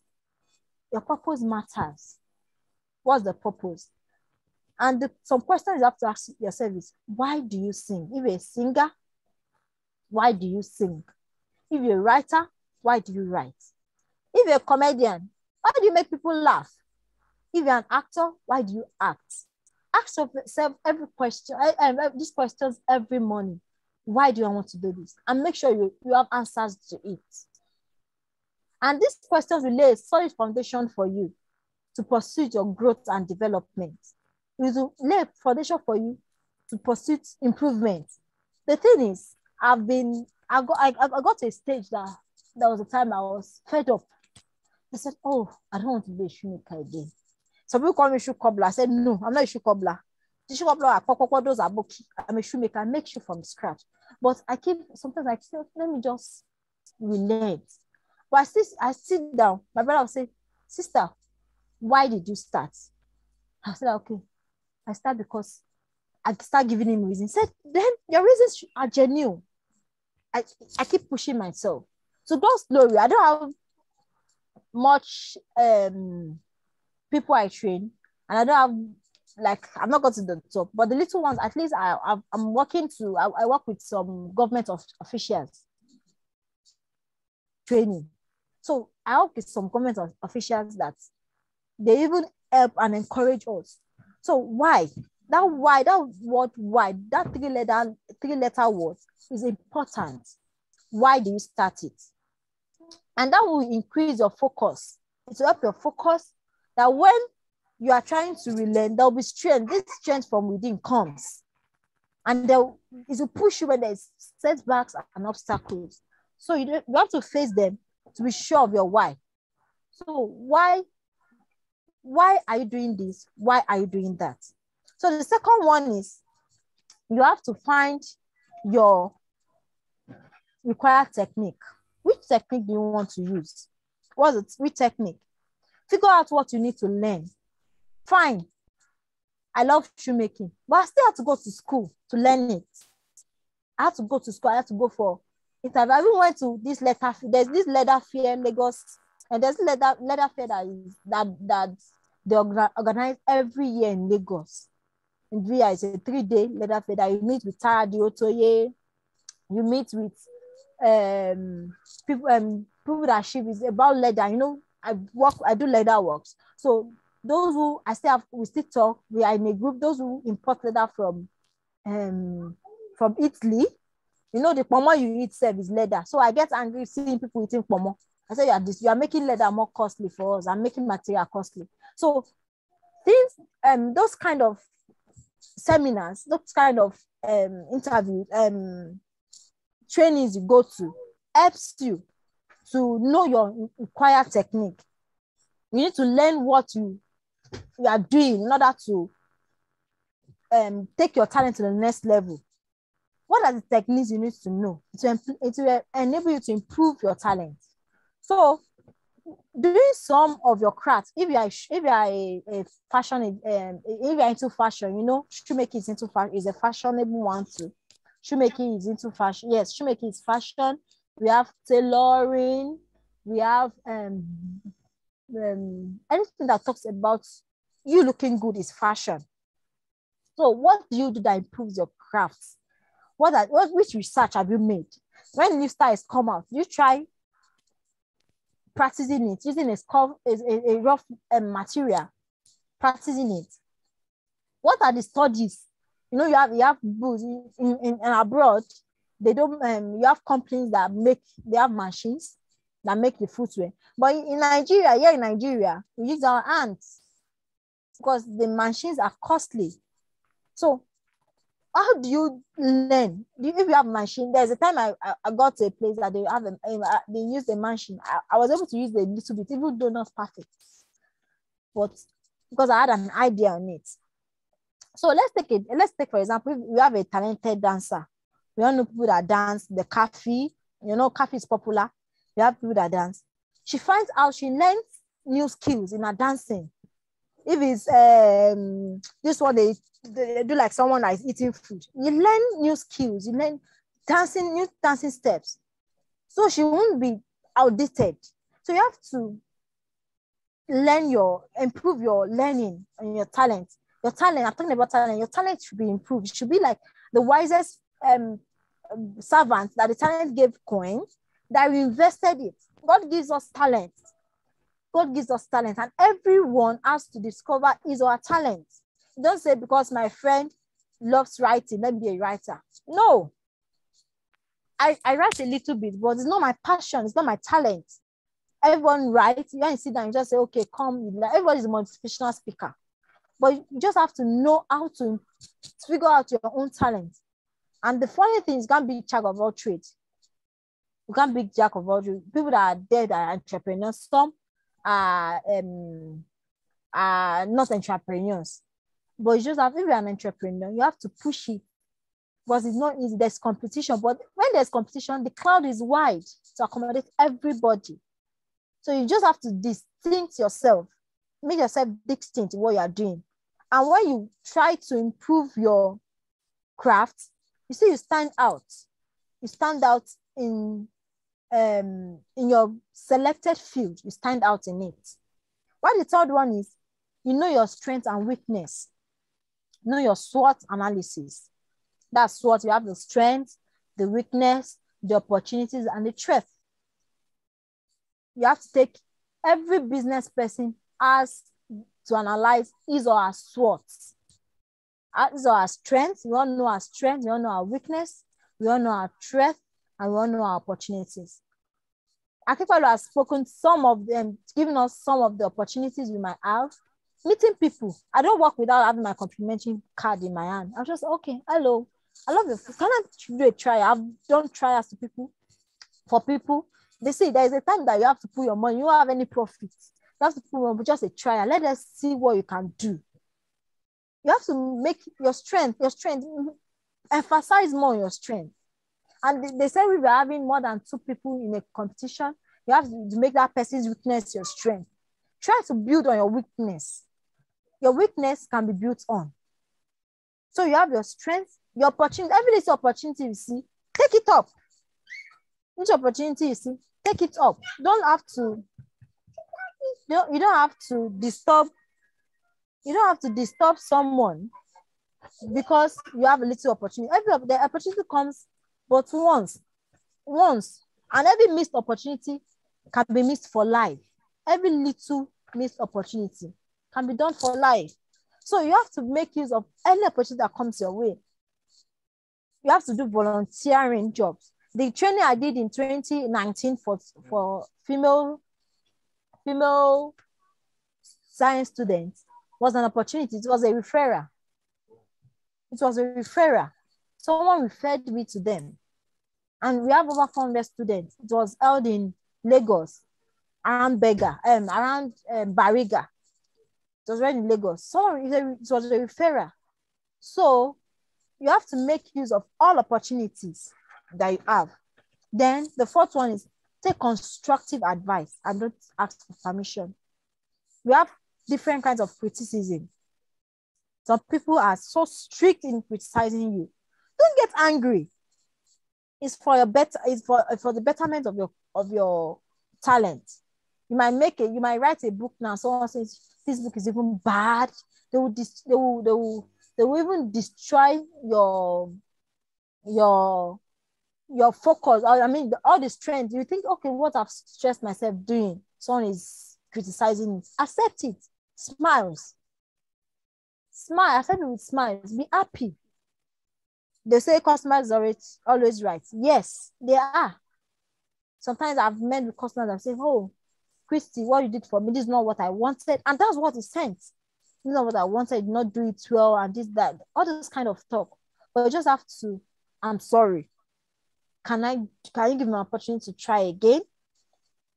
And you keep failing, you keep trying. you don't have to win. If you don't, if you don't struggle, you have a success story. Success story story deals with struggle. You have to, okay, this I'm struggling. We all know that okay, you are struggling to pass your exams. You read, you burn you burn light, you burn your time to watch movies, but you have to try try um try um struggling to attend to people. You have to be um, you have to be calm, you have to be patient. You have to be patient because you have different temperament issues. You have to be patient. You have to read books, not just sitting down and say, okay, this one is no. You have to read books on business. There are a lot of business books. There are a lot of um, books that I, I try to read a book, at least a book a month. Just find time, read, build yourself, and take constructive advice. Not all books are good to read, but when you're in a line of business line, you have to take something on it. Don't ask for permission before you do something. When you're working on your talent, stand on it. This is what I want to do. Fine. This is how we make it. Fine. Don't ask for permission from people before you do what you, what you know it's right for you to do concerning your talent. The first one is do the work. The work of building your talent. You have a major work to do. Rome is not built in a day. You have the major work to do. So you have to do the work of building your talent. When you build your talent, it helps you. When you are doing the work, it helps you building your talent in a, in a, in a nice way. Making a footwear, if I want to make a palm, let's say for a, a palm, a male palm, I'll say, okay, two days to make it normally, or maximum of three days. But when I'm talking to my clients, I tell them within two weeks, or not before two weeks, you get your footwear. Because there are some times when I break down and I have work to do. Your personal work will be there. Your family issues will be there. Your personal work will be there. Some other things will be there. And you have your clients, and you don't have to disappoint your clients and family. So you have to do the work of following them, of, of giving them time frame. You don't say, okay, because you can do it in a day. Ah, you collect that same. No. There are some things that you do um, unforeseen circumstances that happen. Sometimes I'll be going and you might have a call and you have to find a way of structuring yourself. But you have a timeline. Do the work and get do it perfectly. Everything you do should be perfect. Everything you try doing, do it in a perfect, do it with a happy heart, a merry soul. That's what you should do with the work of your talent. You use your talent for. Then the last one, find time to rest and celebrate your progress. Rest celebrate your progress. Give yourself a nice treat. You don't need, you don't need to you don't need to buy the old world give yourself a nice treat. You can buy just sausage 100 naira and um, Biggie Cola 150. 300 naira, you're giving yourself a nice. Just find, I'll go to a eatery, order for something within minimum of 1,000 naira. You've enjoyed yourself. Celebrate yourself. As I said earlier that Bishop T.G. Um, T.D. Jake said, when you celebrate your success, big or small. It's not when you become a third dollar that you start celebrating yourself. You encourage you encourage yourself to do it more. The little little success now will be a big win later. You start once. So celebrate yourself and increase the way you you do your thing. Increase the way you rest. I don't say you should sleep. No. A little sleep. Bible says a little sleep, a little slumber. So I don't say you should start sleeping. No, just rest because our body needs rest. So no matter how busy you are, find time to rest. Find time to celebrate yourself. Find time to make use of your talent. Every time I wake up in the morning, after having my devotion, I just say, God, what, what, what do I want to do? I have my plans for the week. That's why I tell my friends, jokingly, you can't just tell me, Christy, come here. I won't answer you. When you want to invite me over for something, you invite me ahead. You tell me ahead because I don't have time. So if I'm going for a friend's wedding, you tell me ahead. Christy, I'm having my wedding next month. Will you be available? I'll tell you that yes or no. You should have a plan. Plan yourself. You should have um, a schedule for each day, for each week, and for each month. This is October. What do I want to achieve in October? You don't have to overstress yourself. They said, okay, January, you make um New Year resolution. Okay, the, New Year resolution you are making, are you following it up? It's not about you making, okay, I want to do this, I want to do that. But you have to plan yourself. If you fail to plan, you plan, if you fail to plan, you plan to fail. So you have to make yourself available for things to improve your talent. Talent is so important. God will ask us. Even our parents will ask. You ask yourself every night. Ask myself, what have I achieved today? Am I able to attend to my? Am I able to utilize my talent well? Every day we have new things, new ideas coming in. You should have your time for personal reasoning, personal. Um, let me say your quiet time. It's not necessary. Your quiet time should be kaboshin or praying 24 hours. Your quiet time should, should be time you have to reason what do I want to do, what next, what next, uh, what's next step, what do I want to do, and how will I improve on others' weakness? I know my weakness. This is my weakness. Okay. Oh.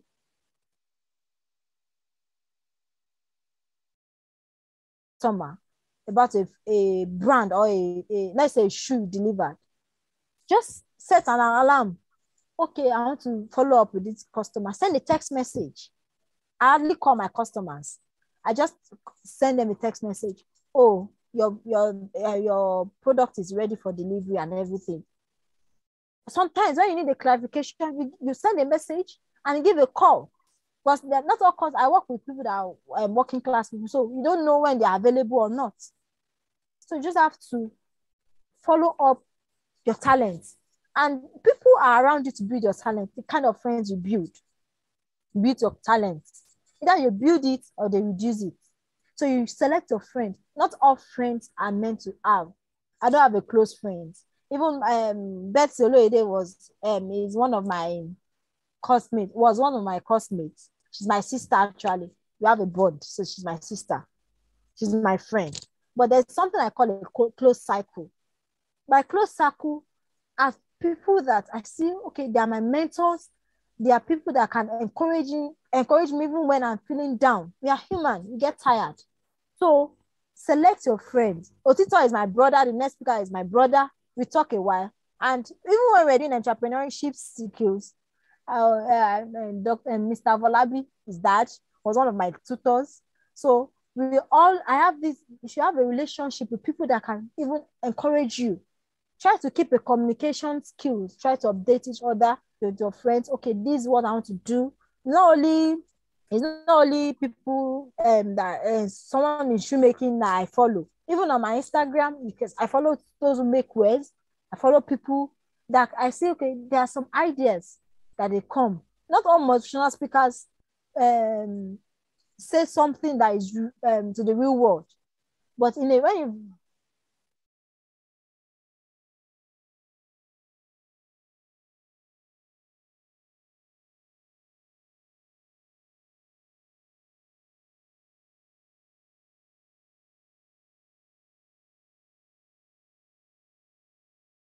little beginning matters. You just keep pushing, doing, do it well with your own heart.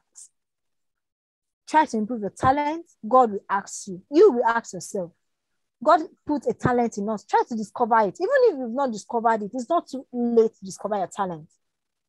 You can be you, you find if you see you find something doing that with ease, you, you enjoy doing it. That's how you can enjoy your talents more. So find a way of improving your talent. Listen to TED Talks. I listened to Anita, one of the TED, uh, TED uh, no, TED Talks, spelled T-E-D, one of the TED, uh, TED Talks she had. Listen to interviews. There's this, there's this program I watch on um, I've, um on DSTV, I think channel two, every Sunday. I'm um, talking about um, entrepreneurs. This year, um, Aye, African Youth Entrepreneurs, Aye. I have a friend that went for it. She was qualified. She, she did bid. She made bids. They give you funds. They give you, um, they interview you. They ask you questions. Listen, watch programs. Not only African Magic Yoruba. I don't watch Yoruba movies. I don't even like it. It's scary. Watch interviews. try to, when you have your subscription, browse out things that is beneficial to your talent, to you. Not only um, sitting down on WhatsApp or everything. Find good sources, read books, that are available online. Thank God, even, even if you don't like reading on um, going to the library, you have your, your mobile phone, you have your gadgets with you. You can easily read it. Channel, know how to channel your talent towards wordable points. That's mean, make your talent money making. They should be able to pay for your talent. You should be payable. You should be able to pay for your talent, and they should be able to um ask you, have you utilized your talent well? You should be able to say yes. Because you are really accountable to God. I'm really emphasizing on this God. God gives us a talent. God and men, not only God. When God asks you, you are accountable to your parents, your families, your friends. You are accountable, accountable to it. As a shoemaker, to be sincere, I don't even have any footwear I make for myself does not last up to two days. Because whenever someone comes over, oh, Christy, you make footwear, they pack my, my, my shoes. I don't even have shoes. There's only one slippers I have as a, as a shoemaker. There's only one. So when you are accountable to me, when they see that, okay, you, you do things that is nice and is any you money, you might not start any thousands, six figures now. Everybody was telling you, he was saying that, okay, when you can make a footwear for, you can make an, a photo album for 150 for an individual and a corporate body for 750. Yes, I dictate my price. If Dr. Ijala wants to make a footwear now, I won't collect 20,000 from Dr. Ijaola. That's the fact. But if a student comes, I can say, okay, bring 15,000. Let me make a, um, a Brooks shoe for you. Or a, a, a, um, any kind of shoe you want. Just come, I will do it for you. But even in Lagos, in delivering, if I'm collecting an order from someone um, on island, my price is different from someone I'm collecting from um, Ikorodu.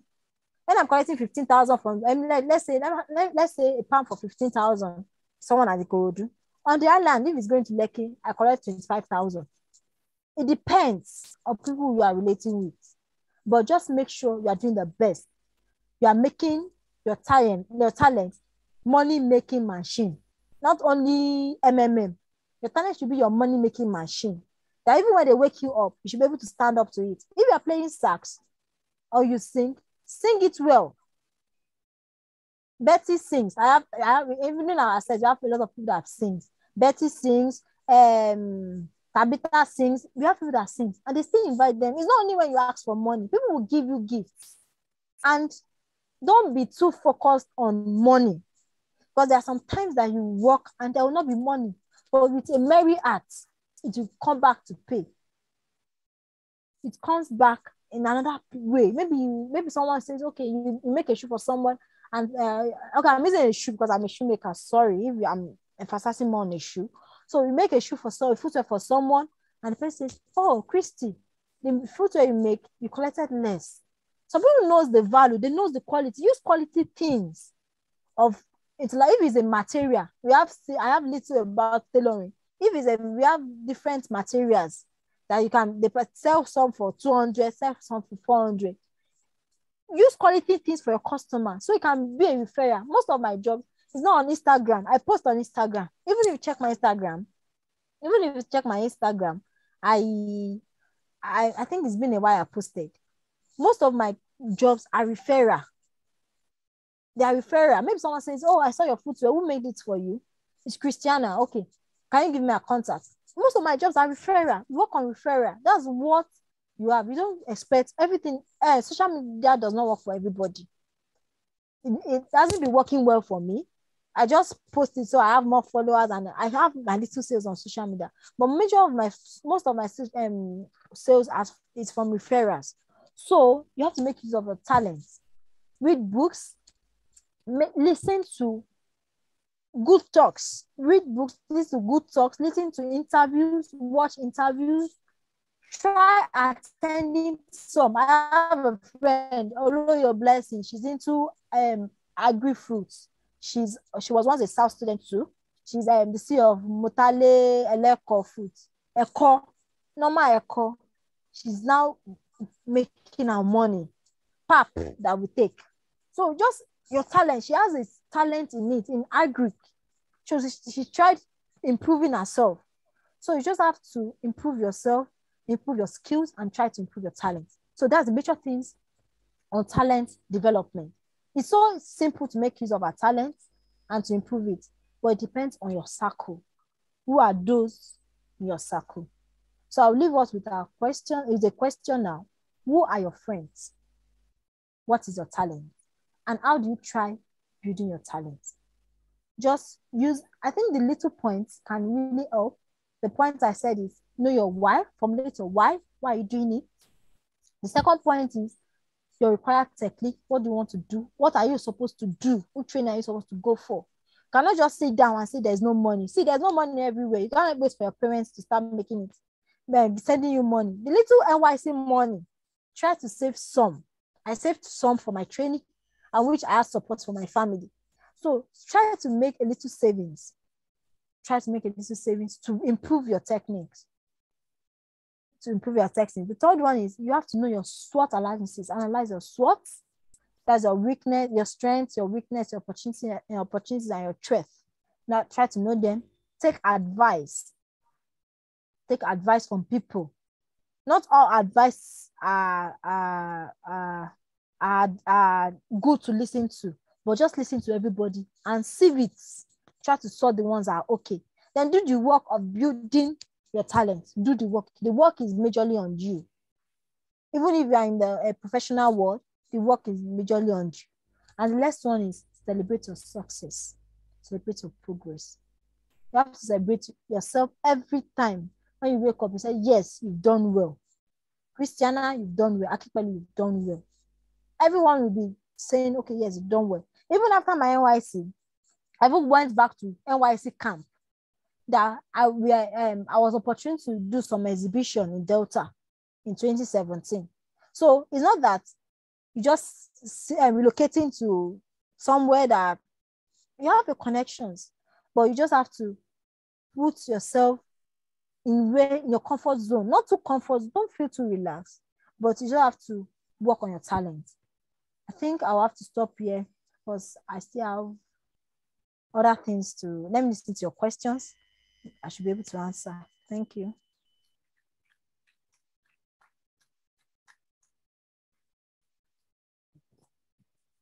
Thank you very much, Miss Christiana.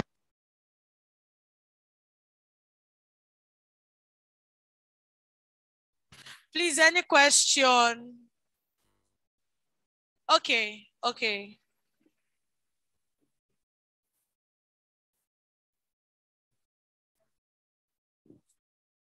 Hello, Christy.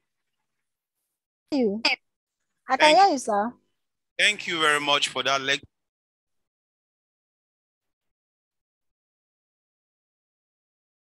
I can't hear you again. We're talking about talent development. Can you okay. hear me? Yes, please. If I, how can I, for instance, maybe I have one more than one. I cannot carry the three because you are telling us that we should try and use our talents to make money. Let's say I can sing, I sew clothes, and I can do another thing that I have passion for. How can I marry the three to be able to get uh, funds or to profit from it? That's my question. Okay. Sorry, I will put off my video because I'm actually distracted here. So, um, you sing, you you sew clothes, these two, they have, um, let's say they can be meshed together. If you are singing, you go out to sing. And when you wear a clothes, it's a fashion, the kind of clothes you wear. We advertise you. Someone can see and admire you. Oh, who made this clothes for you? Can you see that? It's even easier for someone to sing and to display his or her products. Because when I when you put on a fine clothes, someone will admire, congregations will see you and admire you. So it can be meshed together. You can just say, okay, I'm the one who sew it myself. I sew the clothes myself. Do you care for? Okay, this you you find someone. So you just have to create time for it. Create time for it. Singing is not easy. There's no job that is easy. Singing is not easy, but it can be made. You have to have your time. As I said, you have to plan. Plan for it. Then over time, you can even in, in the long run, you can have a fashion institute and you employ people. Then you have time for your singing. So that's what I think you can do in the long run. But at least from a scratch, you have to advertise or your, advertise yourself first. I said I learned bead making. Why I left bead was because I don't wear beads. I don't like it. So how will I display my bead making on my neck? Uh, when I, how will I display what display what I do when I don't wear them? hope you understand. So that's why I say you can do it can be meshed together, but and in the long run, you can have another vision of having an institute or having a fashion room and facing your song, your singing career. That's what I think you can do, please.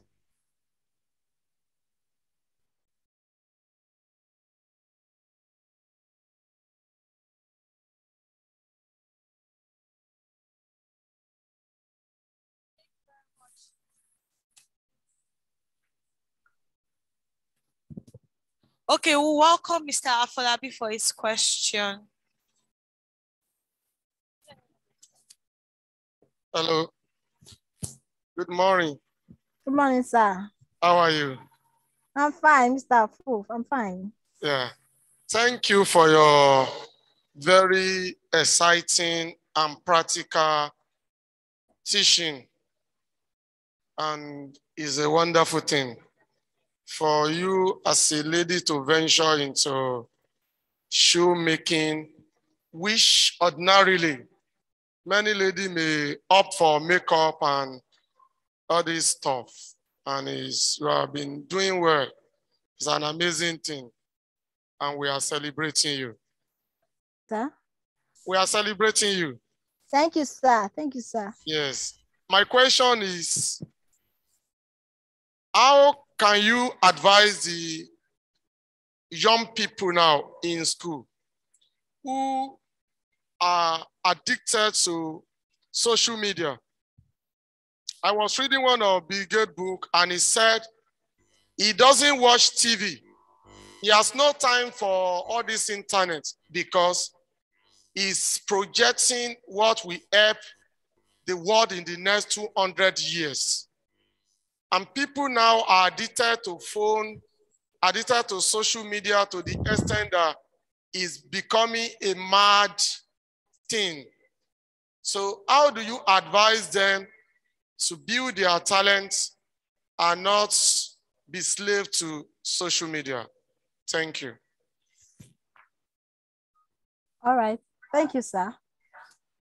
Well, I will start with an illustration. Sometime last year, I was at a lo um, location in Ogun State. And where was that?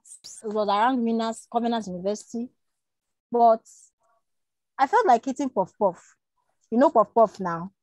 I felt like eating puff puff. My younger brother was craving for puff puff. I was craving for puff puff. But to get the puff puff was quite far, a bit far to where I got, I wanted to get it. I just went on social media. That's the use of social media. I went on YouTube. I searched how to make puff puff. Then brought out videos.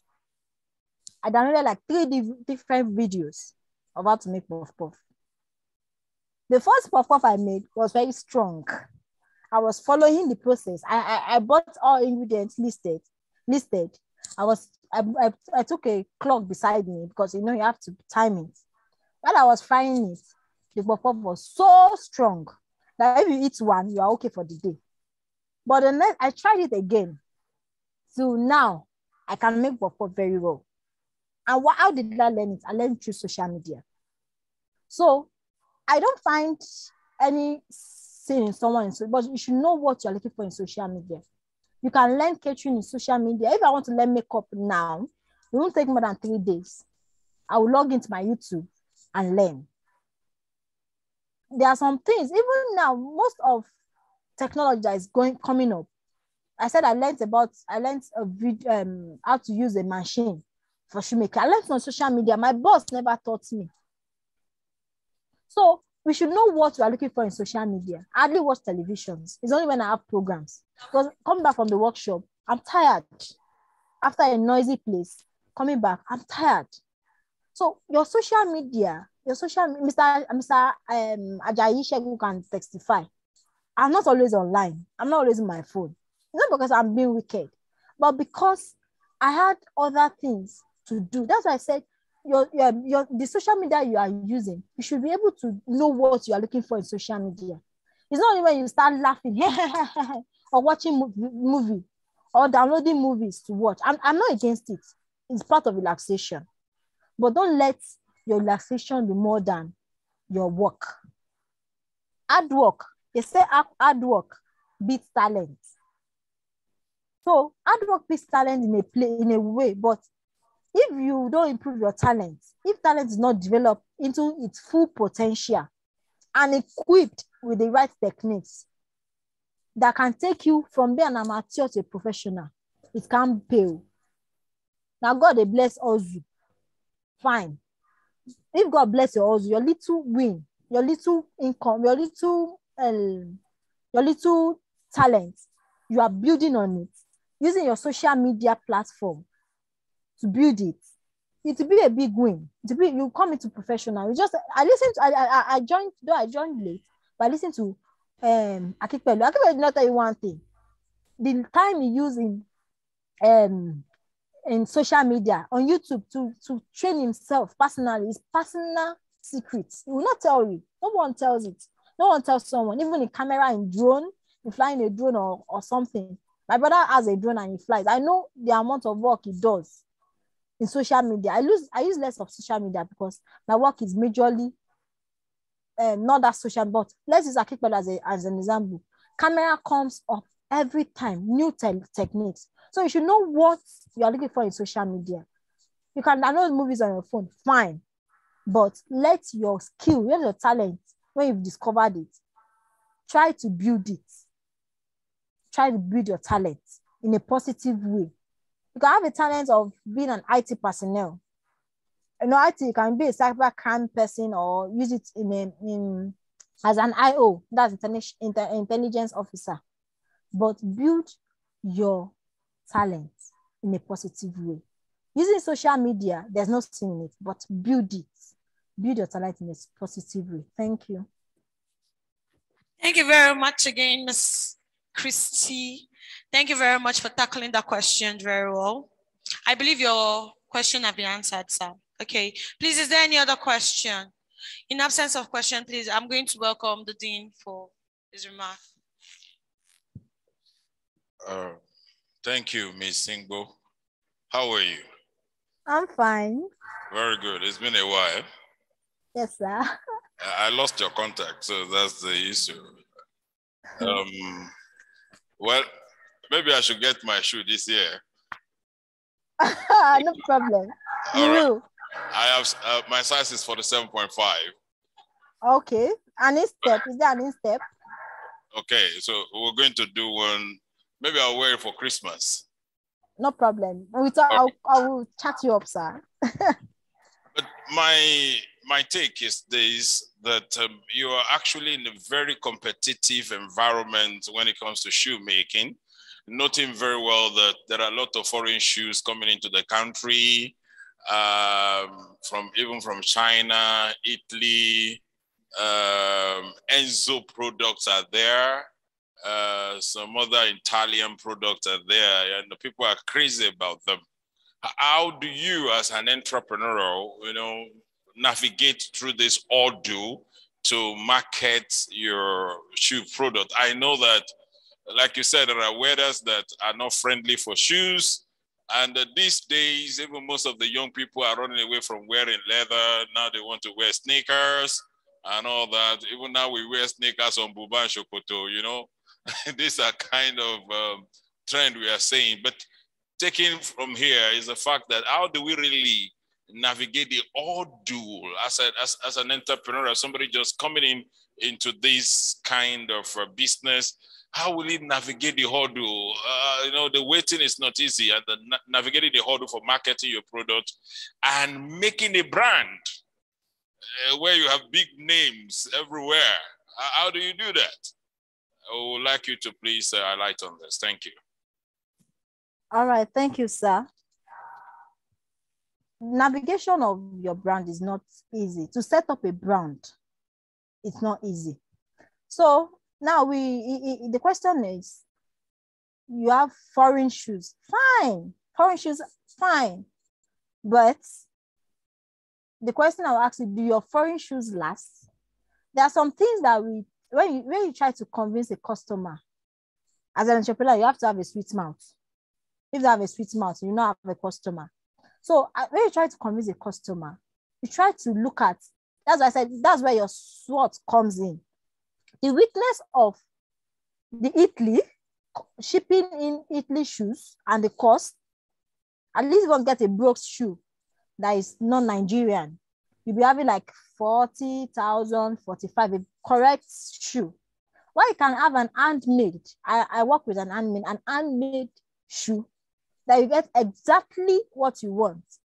It might not be 100% exact because it's a machine shoe. A shoe was bought for my dad. Okay, for example, a shoe was bought for my dad from South Africa some years dad, some years ago. And when I was um, um trying to open the package, the shoe has already opened. The mouth has opened like a fish, fish mouth. I told my dad, see what you see what see what was ordered for you.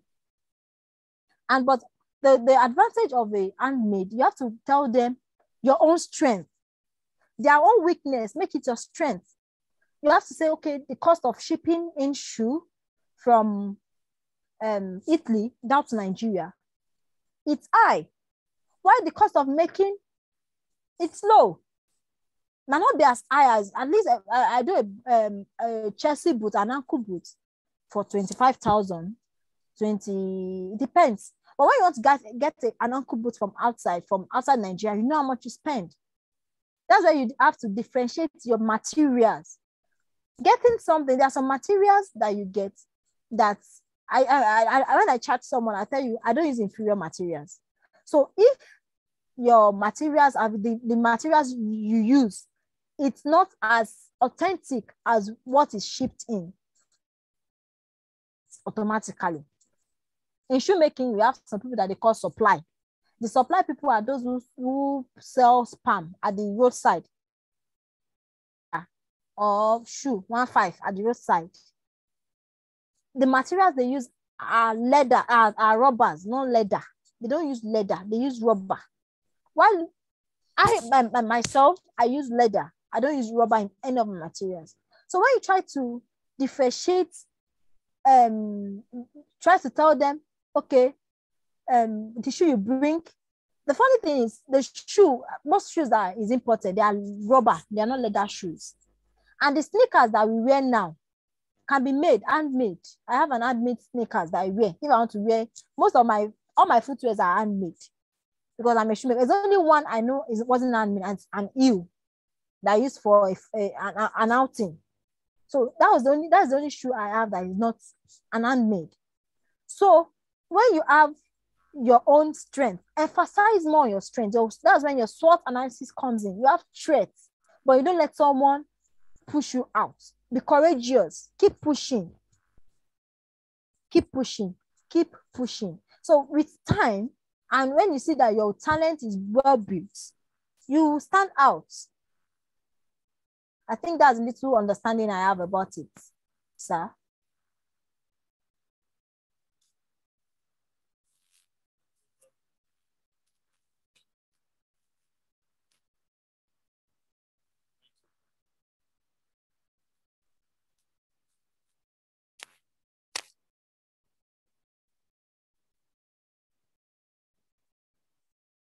very much.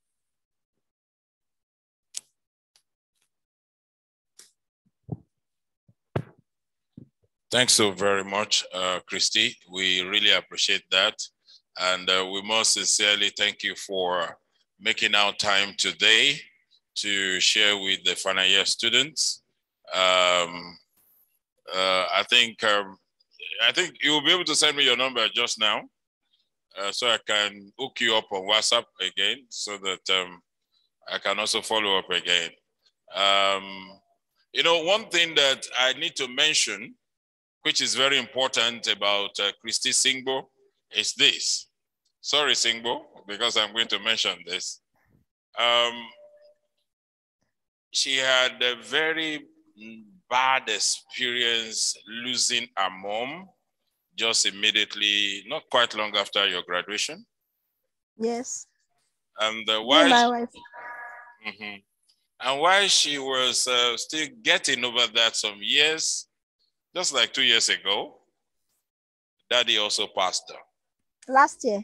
last year. And you know, I was like, wow, for a young entrepreneur, that should have killed everything.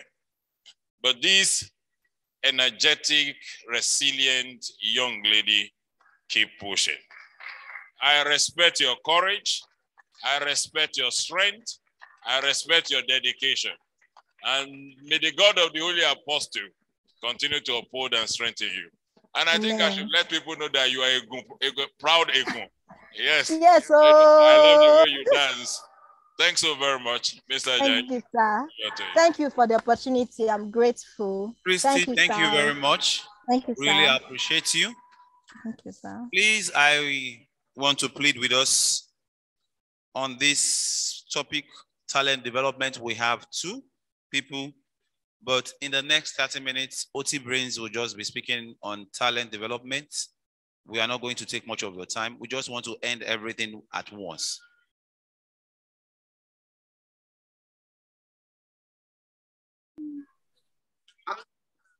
it's really amazing to have, have you all here because it's not something easy to sit all here from. I don't know when you guys started, but it's not all easy to sit all here, hearing to different speakers and you know having to focus and learn a lot. So um, I would like to encourage you and I would like to appreciate you for taking your time to be here today. So uh, briefly, I'll be talking on talent development. Sister Christy has spoken, um, Akinpelu Manuel has spoken as well. So I'll be brief. I just have a, a few things to add to what they have said regarding talent development. So I will talk more on um, what talent development is and the ways you can develop your talents as you are going out of the university to establish your individual selves. So what is talent development? Talent development is the process of building up your talents to its full potentials by equipping it with the right techniques that can take you as an individual from an amateur to a professional. It is the process of elevating your raw talent and cultivating the craft to the next level. You know, it is one thing for you to have a talent, and it's another for you to know how to maximize that talent to its fullest potential. This is where most of us find it difficult to fix ourselves. We all have talent. We don't know how to, you know, maximize that talent. We don't know how to monetize the talent. We don't know how to, we don't know how to implement it in a way that it would give us the desired result that we want it to give us. Now, there are a few steps that you can use, that you can apply to develop your talent to its full potentials. One of them is number one, formulating your why. Formulate the reason why you want to go into this thing. Formulate the reason why you want to develop that talent of yours. Discover the purpose of doing it. If you are a, if you are a singer, why do you sing? Why do you love to sing? Is there a reason why you love to always sing? So formulate your why. Formulate your why. Discover the purpose of doing that which you want to do. So taking time to answer that question for yourself and giving it the right formula will lay a solid ground for you to build on it. Know your why so that it will boost your determination for doing that which you want to do. It will boost your determination to develop that um, talent of yours. Find out the required techniques to implement your talents.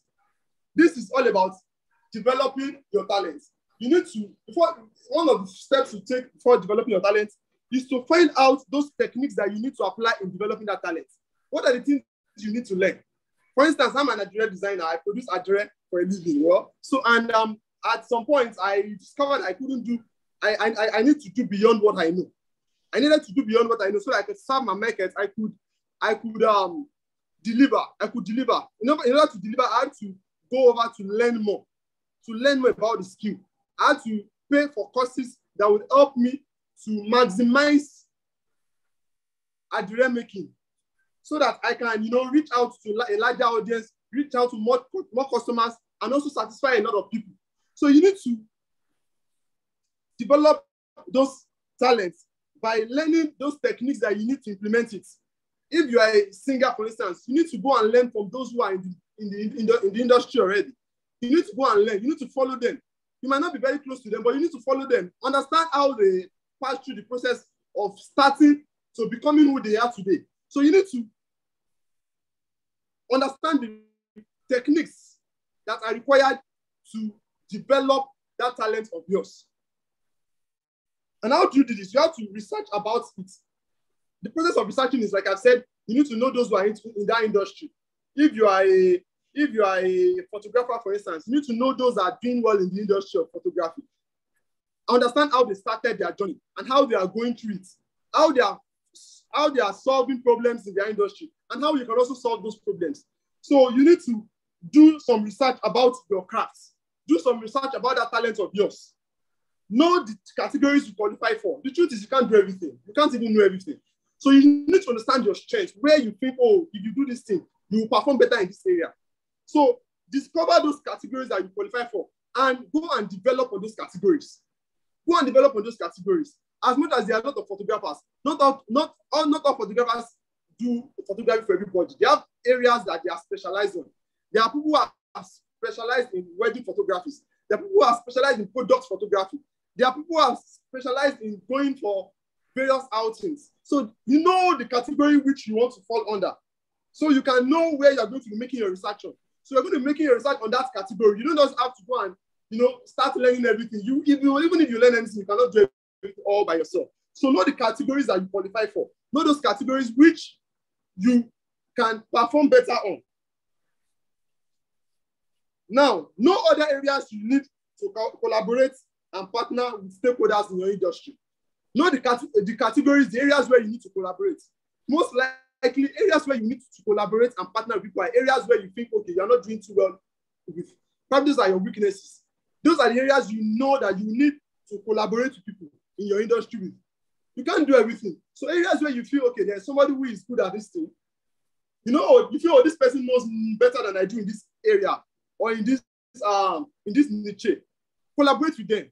Discuss ways you both of you can collaborate and partner. Have agreements regarding your collaborations so you don't miss out in the industry. Because if you have to say, okay, you want to do only the things that you know how to do, and you don't collaborate, you miss out on a lot of deals. A lot of deals that you'd have taken and collaborate with people who can do them. You miss out with those, those deals. So you need to collaborate. You need to collaborate.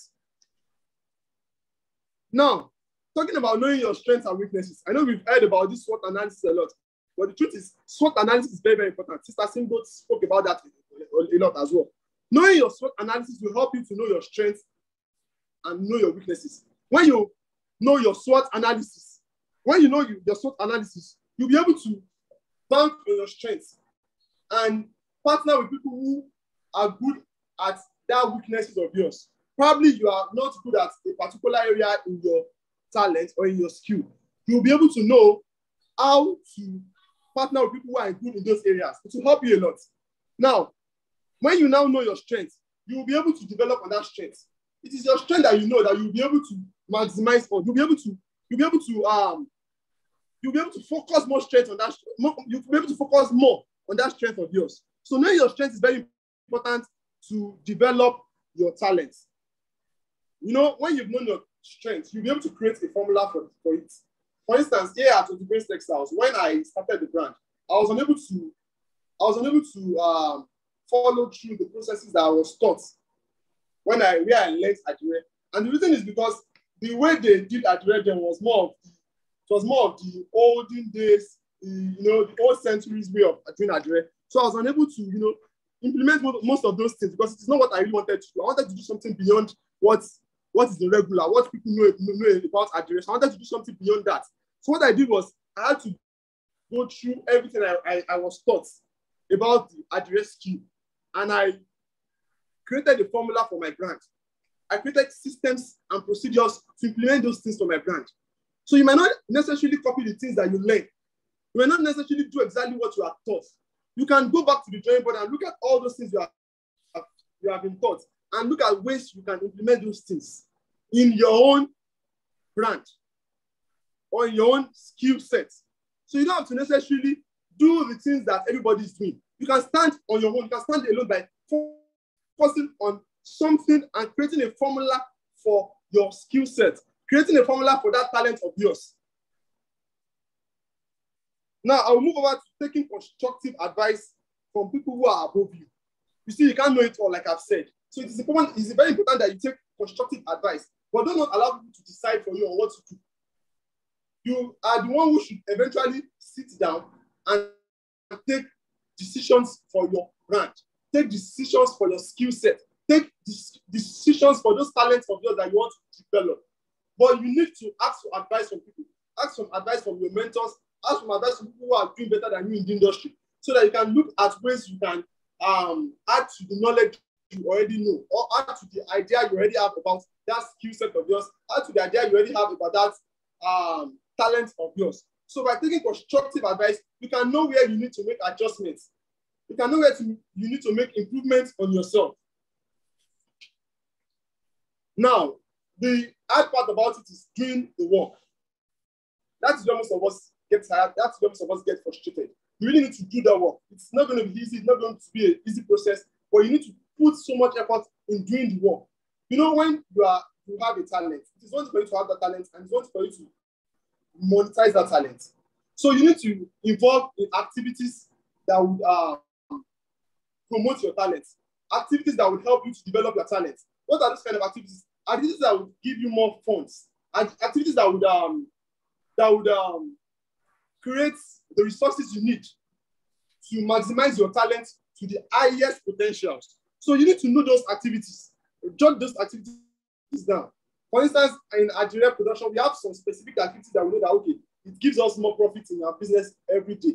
It helps us to reach out to more customers. It helps us to uh, it helps us to do those things that we always aim for. You know, we have goals, we have targets that we set monthly.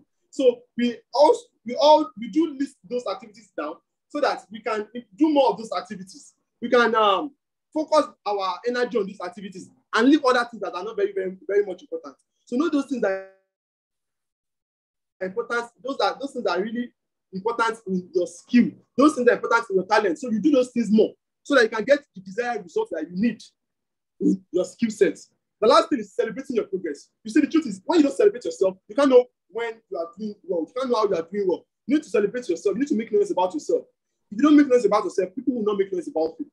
It is you who know the effort you are putting into that business of yours. Is you who know the effort to put into learning that skill. Is you who know the effort to put into developing that talent of yours. So you need to celebrate yourself on a regular basis. You need to hype yourself. You need to be proud of yourself. You need to be, you need to make yourself happy all the time so that you can be motivated enough to do more. Because we're in a country whereby there are really no systems and procedures to do a lot of things. We all are trying to gather knowledge online, gather knowledge from mentors, gather knowledge from here, from left and right. There is no specific procedure to do a lot of things. So if you don't celebrate yourself, you'll be frustrated. You need to celebrate yourself. You need to make yourself happy often. You need to you need to you need to make yourself happy by doing things that will give you joy and happiness. That oh, what I'm doing, I'm happy doing this thing. So that's why when you understand your why, when you understand the purpose of doing what you are doing, you can develop pleasure. You can derive pleasure from doing that skill set and from doing and from uh, implementing that talent of yours. So talent development is all about understanding the process of building your talent to the full potentials. And like I've said, I listed that you need to formulate your why. You need to find out the required techniques to implement your talents. You need to know your strengths and your weaknesses. You need to create a formula, a formula that works for you. A formula that works for you and you alone. That's what will make you stand out in your industry. That's what will make you to stand out as a singer. That's what will make you to stand out as an individual. That is what will make your voice to be heard. So you need to create your own formula. Have your a way of doing your own thing. You can't do the your you can't do things the same way everybody's doing it. You can't do things the same way everybody in the industry is doing it. Have a specific way of doing things so that people will see, you know, oh, when they see your work, they'll know that this is social person that did this thing. They'll know that it's social person that you are one that did this. They'll know this is your design. They'll know this is your skill set. They'll know this is your signature. So create a formula for doing things so that people cannot, even if they are trying to copy you from the surface, they cannot copy you from the in-depth. They can't know exactly what you are doing. So um, take constructive advice. I said, I talked about that. Do the work. Put a lot of effort into doing that work of yours. Doing those things that matter a lot in your business. Doing those things that matter a lot in your skill set. Also, celebrate your progress. I've said you should celebrate your progress by making yourself happy, by making noise about yourself, let people know that this is what you are doing. Celebrating yourself very often will help you to motivate to motivate you to doing more all the time and to motivate you to achieving all you desired for. Um, I think um, at this point, I would like us to ask questions regarding talent development and regarding the ways I listed. I've listed a lot of things regarding how to develop your natural talents to its fullest potential. So I'd like us to ask questions. If there are questions, ask those questions. If there are questions you need to ask, if there are clarifications that you need regarding the things I've discussed about, please do ask those questions now. Thank you very much. So I'll be waiting for questions.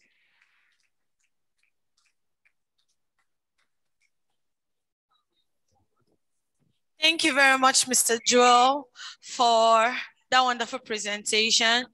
Please, is there any questions? We're going to be welcoming questions now. Any question?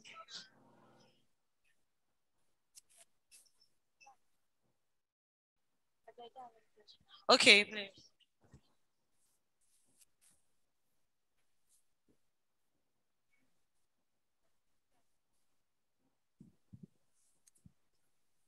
Okay, um, good afternoon, Mr. Otibrainz. We are Good glad afternoon. to have you.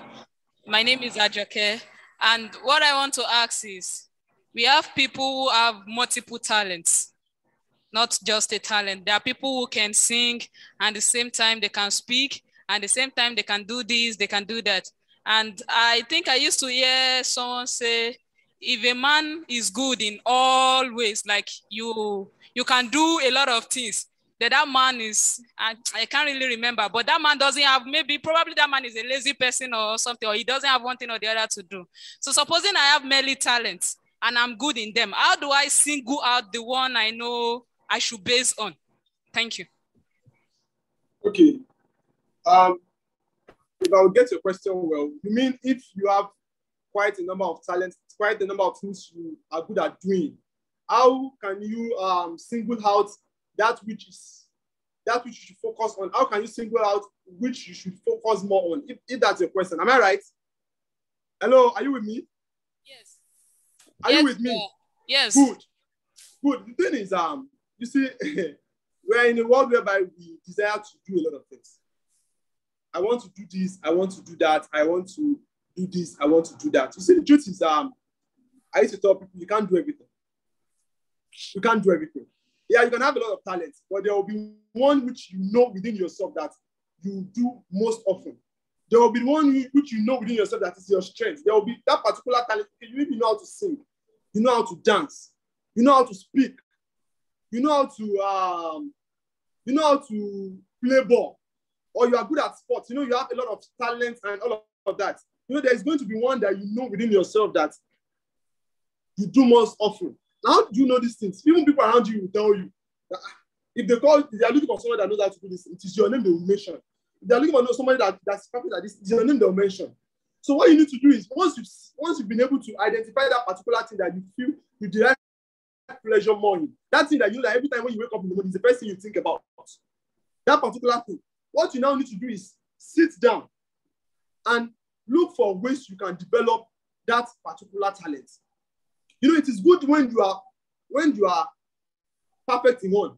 Now, when you are good at everything and you're not perfect in one, one single thing. It is good when that when people know that oh, this person is is a good when it comes to when it comes to uh, making uh, let's say a fashion designer for instance when it comes to making bridal wears this person is very perfect at it. Unlike when you are sewing bridal wears you are making natives you are making casual wears you are making everything you are selling to everybody nobody will know you as a, a guru in this particular thing. So when you focus on one particular thing you can channel your energy on that one thing and you know duplicate your results. You'll be able to perform better in that particular thing, be able to make more money from that particular thing. Most people that try to do a lot of things all together, they end up not achieving anything. Most people that try to do this, do that, do this one, they want everybody to know, okay, they are, they are, they are well talented, they want to do everything all together. At the end of the day, they do not achieve a whole lot of things. But when you achieve, when you are, when you focus on one particular thing, you'll be able to achieve more on that thing. You'll be able to, you'll be able to um, put your focus on that thing and you know, you'll be able to derive your strength for that particular thing. So what I can advise to young adults is that focus on one particular thing. learn that craft, be good at it before you move to another one. So when you're good at that particular thing and you can duplicate your results, you can even uh, have more people, add more people to your team so that they can help you in achieving those things or achieving those uh, those niche or those particular field where you are specializing. While every other skill that you want to develop on, you can go and develop on those things. But if you say you want to do this one today, you want to do this one today, tomorrow, you'll be overwhelmed that you never know which one to do. You never know which one to focus more your your your strength on. So the idea is fo- focus on one, one that you know that you derive, derive much more pleasure in doing it. Then leave the rest. You can you can go back to those ones when you are done on focusing on that particular thing. And when you once you've been able to develop that particular skill set, or once you've been able to develop that particular talent. I hope I've answered your question. Yes, you have. Thank you. Yes, thank you. Thank you very much, Mr. Otibrainz, for tackling that question very well. Please, is there any other question? Any other question, please, from anybody? Okay. Oh. Hello, good morning. How are? Mr. Fo. Hello, my brother. Thanks for your wonderful delivery. It's quite amazing. My question is that somebody like you that you are into Adire, and there are customary people that have been into this business from ancient time, and they will believe that if you go to Abeokuta, you get the Adire. How do you have a, a special a, a special touch that attracts the old and the new generation so that the old people do not send you out of business because they will say we have been there before and now coming into a traditional business that has historical um, and is historical lineage. So how do you make your own touch to link between the young and the new generation? Thank you very much.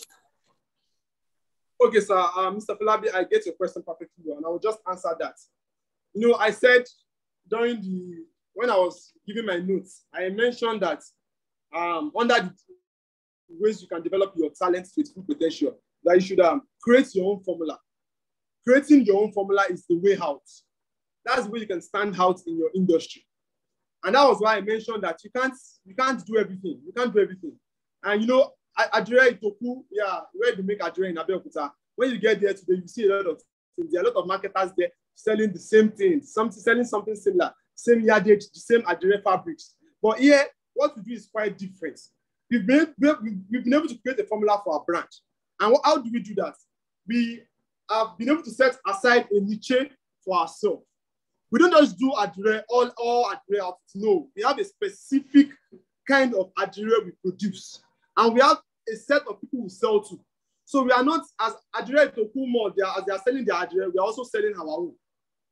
In fact, I may like to tell you that we are not, where our business is situated is not in a, it's not in a public place where people can easily get across to us.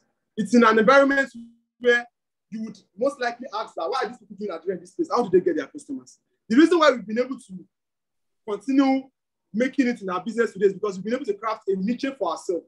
So a good way to establish your business in a way that you'll be able to stand out, even when there are a lot of people in the industry, when, even when there are a lot of competitors in the, in the industry, is to craft a niche for yourself. There are various areas that we can satisfy in the textile industry. There are people who are dealing in interiors. There are people who are dealing with um, Adire for Asoebi. There are people who are doing with branded Adire outfits. Are people are doing with uniforms. There are various areas that you can craft a niche for yourself. So what we have done at Otibrainz Textiles is to craft a niche for ourselves. We are not doing the old general Adire, not even the olden days Adire. We are, we, are, we are focused on creating contemporary outfits. We are focused on creating Adire outfits that are in vogue now, with the fabrics that are in vogue, like outfits that are in vogue. Not the olden days fabric that you buy Adire in five yards or the actual, okay, no. We are creating collections that are, are, are more of the conventional one, not the olden days kind of Adire outfits. So we have a particular set of people that we sell our Adire outfits to, not just the general public. Thank you, sir. I think I've answered your question, Mr. Flag. Thank you once again, Mr. Joel. Okay.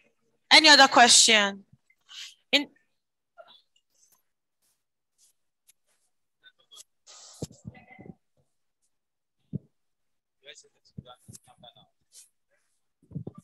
Okay. Good afternoon, sir. Thank you Good for afternoon. the wonderful lecture. Um, uh, my question goes thus. Okay, sir, I want to know if it's advisable to get a loan for a business or because when I was in my IT then, my supervisor told me that it's better you get a job first, then the money used, money given to you when the job used that to build your business.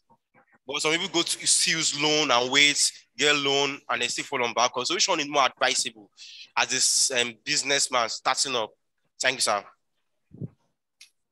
Good question. I love that question anyway. You see, the truth is, a lot of business owners will tell you to get a loan. And at a stage, there's a stage in your business when you need to get a loan. As a startup, I don't advise startups to get a loan.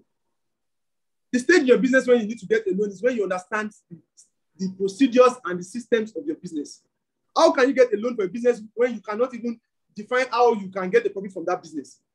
You need to learn that art first. You need to learn that skill first and start from the scratch. You know, the reason why most of us want to get a loan for a business is because oh, we want to build that business, we want to make it very big from the start. No, you need to start small. You see, the process of starting small is the process where you're going to discover your mistakes, your errors. You are not meant to be making mistakes when you are getting a loan. You cannot be using the, uh, the money you get from a loan to be making mistake. Your the person whoever loaned you or whoever gave you that grant is not waiting for you to be making mistakes with, with the money they borrowed you. They don't care if you are making losses. You need to return that money back at, at a certain point. So you cannot be using a loan to be doing uh, to be doing uh, this one is working for me, this one is not working for me. You need to understand your business first before you can start taking a loan for that business. Or else you would flop. That's why most people go into business and they crash in the first year because they're all about creating a very big business so people can know that oh they are very big. You have to start from the scratch. Let me dive into that. When I started my business, I started with as little as but I say 500 naira. You will not believe me. And I'll tell you why I said I started with 500 naira. I, I you know, I was in some Adebwe Adebwe guy investor, and I think I know, I know some of you here. And if, if you truly do know me, you know I started. I started my Nigeria business by dyeing fabrics in the hostel for my for, for the male, male students. What I did then was I was collecting clothes from them, like their faded clothes, and I was dyeing it for them. So most of them will have, will have to pay me before I start dyeing it for them. All I did was to start with the basic thing I had, I, I have, which is the knowledge. I have the knowledge. You can even start your business with the knowledge you have. That's a resource on its own. So sometimes you don't have to have that fund before you can start. You can start from that very little thing you know you have, which is your talent, which is your resource. You don't have to start by getting a loan for that for that business. If you get the loan from the business, how can you even how can you be sure that you'll be able to get that money back? Because you don't understand how the, the business runs. You don't even understand the mistakes you're going to meet you are going to make in that business. So you, before you can get a loan in the business, you must have used perhaps maybe one year or two years two years in that business, and you understand the systems and procedures of systems and processes rather of your business, of your skill, before you start taking a loan for that skill. You must know how much you make in a month. You must know how much profit you make in a month, how much profit you make in a year before you start taking a loan. Because if you take a loan now, how are, we sure, how are you sure that you can pay off within a year or within the stipulated period of time that they're giving you to pay off for that loan? So what you need first is to learn. Learn that skill. Learn how to sell your market, your products. Learn how to learn how others in your business are doing it, how they are selling. So learn how to sell your arts. Learn how to sell your, your skill. Learn how to make money from it first before you start loaning yourself for that business. Now, you asked the question about taking a job. I advise business owners like startups to take a job because in Nigeria, the truth is you need money to start a business. That's the honest truth. As little as it can be, maybe 1,000 naira, 5,000 naira, 100K, 200K. The good thing is there are a lot of businesses today that you don't even need a lot of money to start. I said it, I said I started my business with as little as 500 naira. And what did I do? Like I said, I was collecting clothes from my, I started with my roommates, Daniel. Daniel was my roommate when I started Adire. So what I did for him was I collected, I collected um his faded clothes and I dyed it for me and he paid me 500 naira for each of those jeans. I think I dyed about four jeans and I was just collecting 500. It was very little then, but I was really happy that I was dyeing somebody's clothes. I started with that. Over time, I started collecting clothes from various students. They saw my work and they be like, oh, I love who did this thing. And I started getting referrals from friends and families. So one way to build your business from the start is to get closer to friends and family. They are the first people who will support you. At the long run, you cannot depend on your friends and families for your business. At the long run, you can't depend on them. But for a start, you need to depend on your friends and families for your business. So you need to bank on them. They are the first people you are supposed to focus on. Get money from them, get patronage from them to start your business. But talking about loaning for, for a startup, I don't advise you loan your you start loaning for your, your business from the scratch. It is not good for your business. It is not good. It is not good. In fact, when you start big, you might fall down and you might not find it easy to go to come up again. But when you start small, when you fall down, you'll be able to come up again. Because you understand the processes that, you, that took you to your stage. But when you just get money from somebody to, to, to start your business, how would you be able to maximize that profit enough when you don't even know how to raise capital for yourself? You must learn how to raise capital before you, you start loaning for your business. If you can't if you can't raise capital from your business, a business, how are you sure that that money that you loaned, you'll able to make profit from it? You must learn how to raise capital from your business before you start loaning for that business. That is my advice for startups. Thank you. I hope I've answered your question. Uh, so I want to one more question. So I know okay. you, you finished from computer science. Yes. Uh, yes. So now you went into Tandai. So what yes. challenges as a computer science student? You know, you have to know basic programming, you have to be doing it, consistency, all those things. So how, how do you do it? Where you see maybe sometimes you go to your computer science, you sit down, or how do you combine the two out there? Because you as the best in computer science, you have to show yourself in your field. So how do you do it, sir? Okay, the truth is this. Um, number one, I didn't plan I even be into Adire everything. Like it was never my plan. I never knew if they told me that I'll be an Adire designer, I would say it's a lie. I developed um, passion for, for computer science from, from when I was in secondary school. So I never knew I was even going to do computer science. But over time, I, I developed passion for Adire. That's why I say discovering your discovering your. I think that was when I talked about formulating your why. The, the reason why you want to go into this thing. The reason why you're learning this skill. Anyway, you are done with uh, with SAU now, and you already have your maybe I think you're learning computer. You you studied computer science, if I'm yes. right. Yes, sir. Yes, good. So um, how I was able to do this was, uh, you know, the, the thing is there is no skill. I don't think there's any skill in this century that we are in now that you don't need computer science for. Yes. yes. If you yourself do not apply it, Yeah. you would need to partner with people who are in that field for your business. For instance, I do my own, I do my digital marketing myself. I don't, I don't, I don't hire people for my digital marketing. My sponsored adverts on Facebook, on Instagram, on various social media platforms. I do them myself. Search for Tipping Textiles on Google. You'll see our profile on, on, on, on Google My Business. I did all those things myself.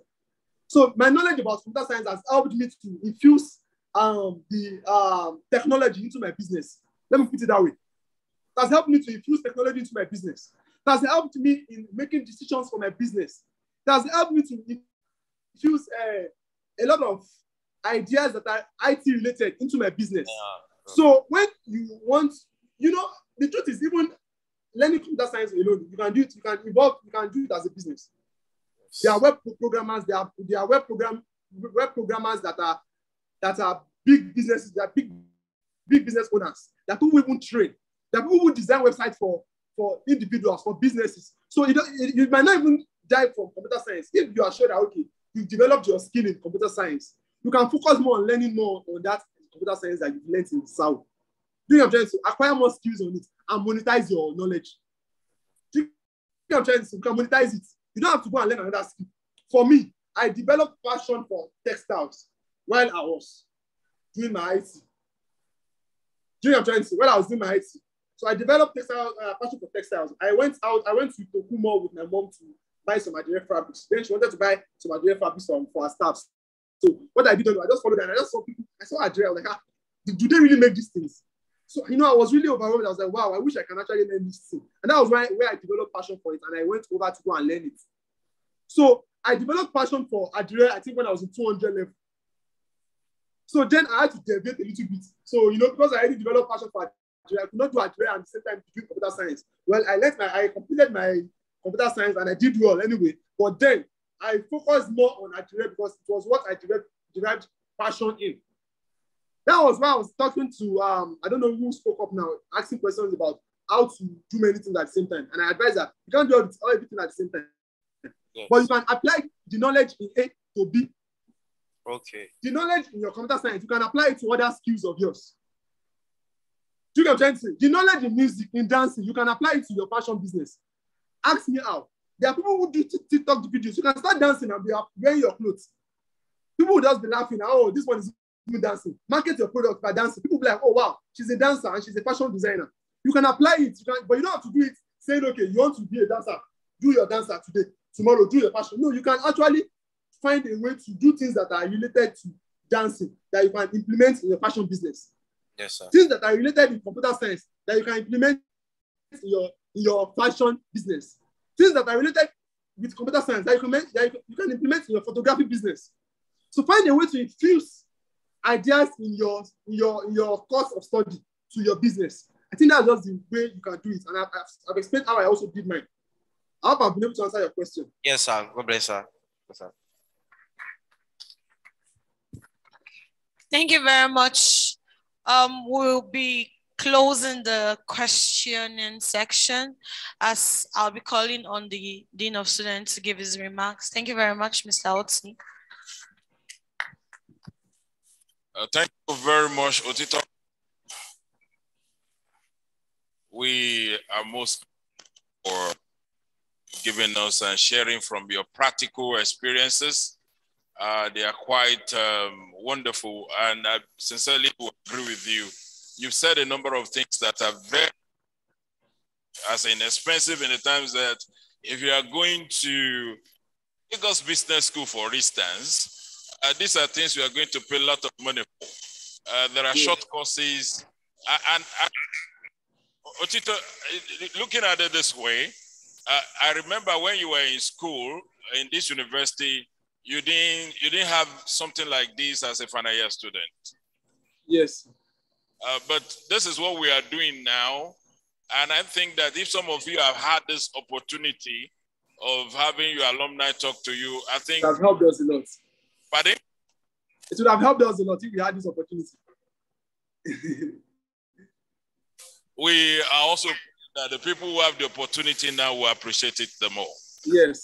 Uh, nevertheless, you know, let me just say some few things about you because uh, you know I patronize you. I'm your customer. Very well, sir. Good. And um, maybe I should just let them know that um, indeed I knew you started small. You started on campus, uh, and some of the staff will give their clothes to you to help them dye and all that. And you were doing very fantastic with that. And then when you started in my area in Ibadan, you know, and um, I study your business ideology, the location of your office, uh, which is a building. You know, it's a whole building, but you are smart enough to get that building in that location so that you won't pay too much for it. Yes. Yes, you're right. if that building is to be at Bodija, you'll be doing so serious.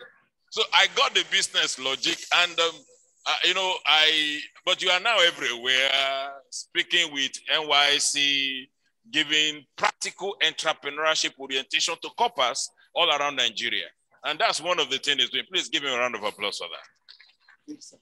You know, um, and um, you see, your brand is actually, and just recently, you started importing clothes to Nigeria because you wanted us to come and buy wholesale, all those things, you know. And um, I begin to see that this is beautiful idea that you pick up from this and uh, you are taking it to places. Sincerely speaking, I, I cannot, uh, though I've not got a branded shirt of Otito to patronize, you know, I have to say that. So maybe my staff in student affairs will get some brand from you. Taiwo Babatokwe will not let know. So if you count our number, please count Mr. Taiwo. Thanks so very much. Uh, and um, I, I think I must let our colleagues here know, and our final year students, to know that your mom, former act registrar of this university, and um, is and you refuse to be employed where she is because she has capacity to employ you. but you choose to be an employer of labor. And that is very fantastic. and uh, may the Lord continue to bless you and honor you. Amen. Really appreciate this time you shared with us. But one question. Yes, sir. I would like you to answer time up. I can't hear you, please. I can't how hear you, did, sir. how did you Your voice is breaking, please. okay? Can you hear me now? Yes, I can. How did you save up money? Saving money towards building capital. Aside getting soft loan from parents, family, and friends, which is a kind of soft loan, you don't pay interest. Are you hearing that? Yes, I'm with you, sir. Which is a cheap, a kind of a cheap source of uh, loan. It's a loan technically, Yes. but it's just without interest. So, Yes. but how on your own did you save up money? How did you go about it in starting your business? I know for now you are not using Mercedes Benz, but you are moving around. So Yes, sir. these are practical areas we might need to mention. Do we need to buy so many big things? I know as a student, you must have sacrificed certain things in the bid to save up money. And when you were doing your NYSC and all that, could you mm-hmm. just please share a little on that so that it can be a good take home for us? Thank you. Okay, sir. So I will talk a little about that. And that was where I will mention NYSC. I must be sincere that NYSC helped me a lot. It helped me a lot because I was able to, yes, I don't know we were collecting 19,800 naira then. But yes, that 19,800 naira, I never touched it. I never touched it. Every month I was saving my 19,800 naira. And I actually saved more from the little money I was making from my business. I started from the scratch. I didn't have to buy machineries and all of that. Because Adire is the kind of business whereby you don't, you don't need to get machines for it. It's handmade business. So you could actually start from the comfort of your home. You can do that from the comfort of your home. So what I was able to do was I was able to start with the little resource I had, which was number one, my skill. And I, like I said, I had to advertise to my friends and families. People in SAU helped me a lot because they patronized me there. Even though it was little, but it really helped my business a lot. I was able to, I was smart enough to save from the little I was making in my business. And I was able to save as little as over 60 to 100,000 naira a month, even from my startup. I will save from NYSC. I will save from uh, the money my parents were giving me for for up, for my upkeep, for my um for my pocket money. Eh, I was saving from that, and I was also saving from the money I was making from my business. I paid little attention to buying um resources for my business. I don't I didn't you know it was not necessary for people to know that I was big. I was not ready for people to see me as a very big man. I wanted people to relate to my beginning. So I was sharing every bit of the process of my beginning to my customers. So they saw how I was dying under the rain, how I was delivering close to customers with clothes on my head. I will snap pictures, make videos. People are seeing the effort I'm putting into my business. And these are where I get support from friends and families. This is where you need to build on your social capital. You need to build on your social capital. You need to network with people. People need to know about you. You need to share your story with friends and families every day. It's something you have to do consistently. So it is when you do them consistently that you're going to get results from it.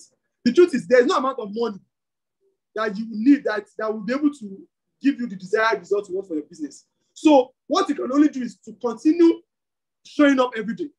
So what I did was I was showing up every day. I was saving up from the little I was getting from NYSC. I was saving up from the little I was getting from my business for, for a start. Like I said, I didn't have money to do sponsored adverts when I started. I didn't have money to pay influencers when I started. But I was able to talk to friends and families to buy from me. And they were supporting me. And because I was delivering a good job for them, they were referring friends and families to me as well. So that was what I was able to, to use to start up my business from the scratch. I didn't start big. So it was the little money I was saving that I was able to use to get a place for my business. I was able to equip my business with facilities. I was able to, you know, get staff to work for my business. And that was how I started my business. That was how I was able to raise funds for my business.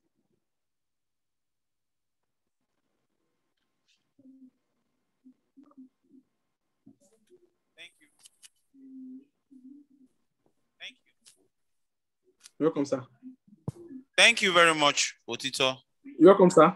We really appreciate your lecture. And we pray that God will continue to promote your business Amen, sir. more and more in the name of Jesus. Amen. So thank you for your time. Now I want to appreciate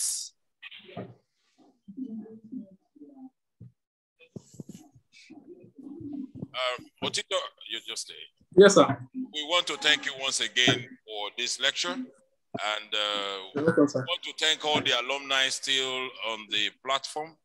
And uh, we want to thank you so very much, all of you, for uh, giving us, uh, giving back to SAU in this way. You see, one thing we always appreciate, and which the world is not really celebrating, especially the younger ones today, is knowledge. Knowledge is the greatest thing one can get from each other. And this knowledge you share today, I know some of our students seated here appreciate it so much. And uh, I know they are going to, some of them will contact you as a mentor and they be your mentee. You can see how you how you navigate between computer science and Adire. Maybe I will be calling you computerized Adire man. Yeah, you know, spending four years in computer science and uh, you turn out to be an, and uh, you see, maybe I should also mention that uh, he could design this shirt I'm wearing as Adire completely now. You know, that's how his technology has gone. He can turn what I'm wearing now with a beautiful design in Adire. You know, Yes, and I think I have that's what we have in our office now, the one that Yes, just the office. So uh, we really appreciate that. And this is how to give back to the university. And this is how we will continue to promote you. And very soon you have to, you have to come physically to the university. We are no problem, sir. we are doing something to bring you around. So thank right, sir. you very much, and thanks so very much to the alumni. Uh, may the Lord continue to bless all of you. All right, my brother. Amen, sir. Thank you very sir. All right, sir. Thank you very much. At this junction, I would like to appreciate the Dean of Students because I could remember last year when we were planning the last final year dinner, he said, Mr. Ajayi, I would have loved us to have this, what we are having today with the previous set. Let me just share this. Yesterday, someone who graduated last year, now in person of Toby, she was in my office to sign our clearance. She now told me, Mr. Ajayi, Esheyeo, "Ah, I'm jealous. I said, what happened? He said, why didn't you guys organize this kind of thing during our own sets? And I had to plead with her. I said, then the time was short. Two, COVID and other things affected. So please and please, I know we will have taken one or two things from this lecture. Please, all the slides, everything will be made available to you. We'll, I will try as much as possible. Betsy has said, I sent her own slide. I will speak with uh, Akinpelu and others who made slides so that you can have them for keeps and can be of help to you. I also want to appreciate Mr. Folabi for making our time. Today is public holiday, but we are here. Try to make sacrifices to see that you get the best. I would also like to appreciate Mr. Taiwo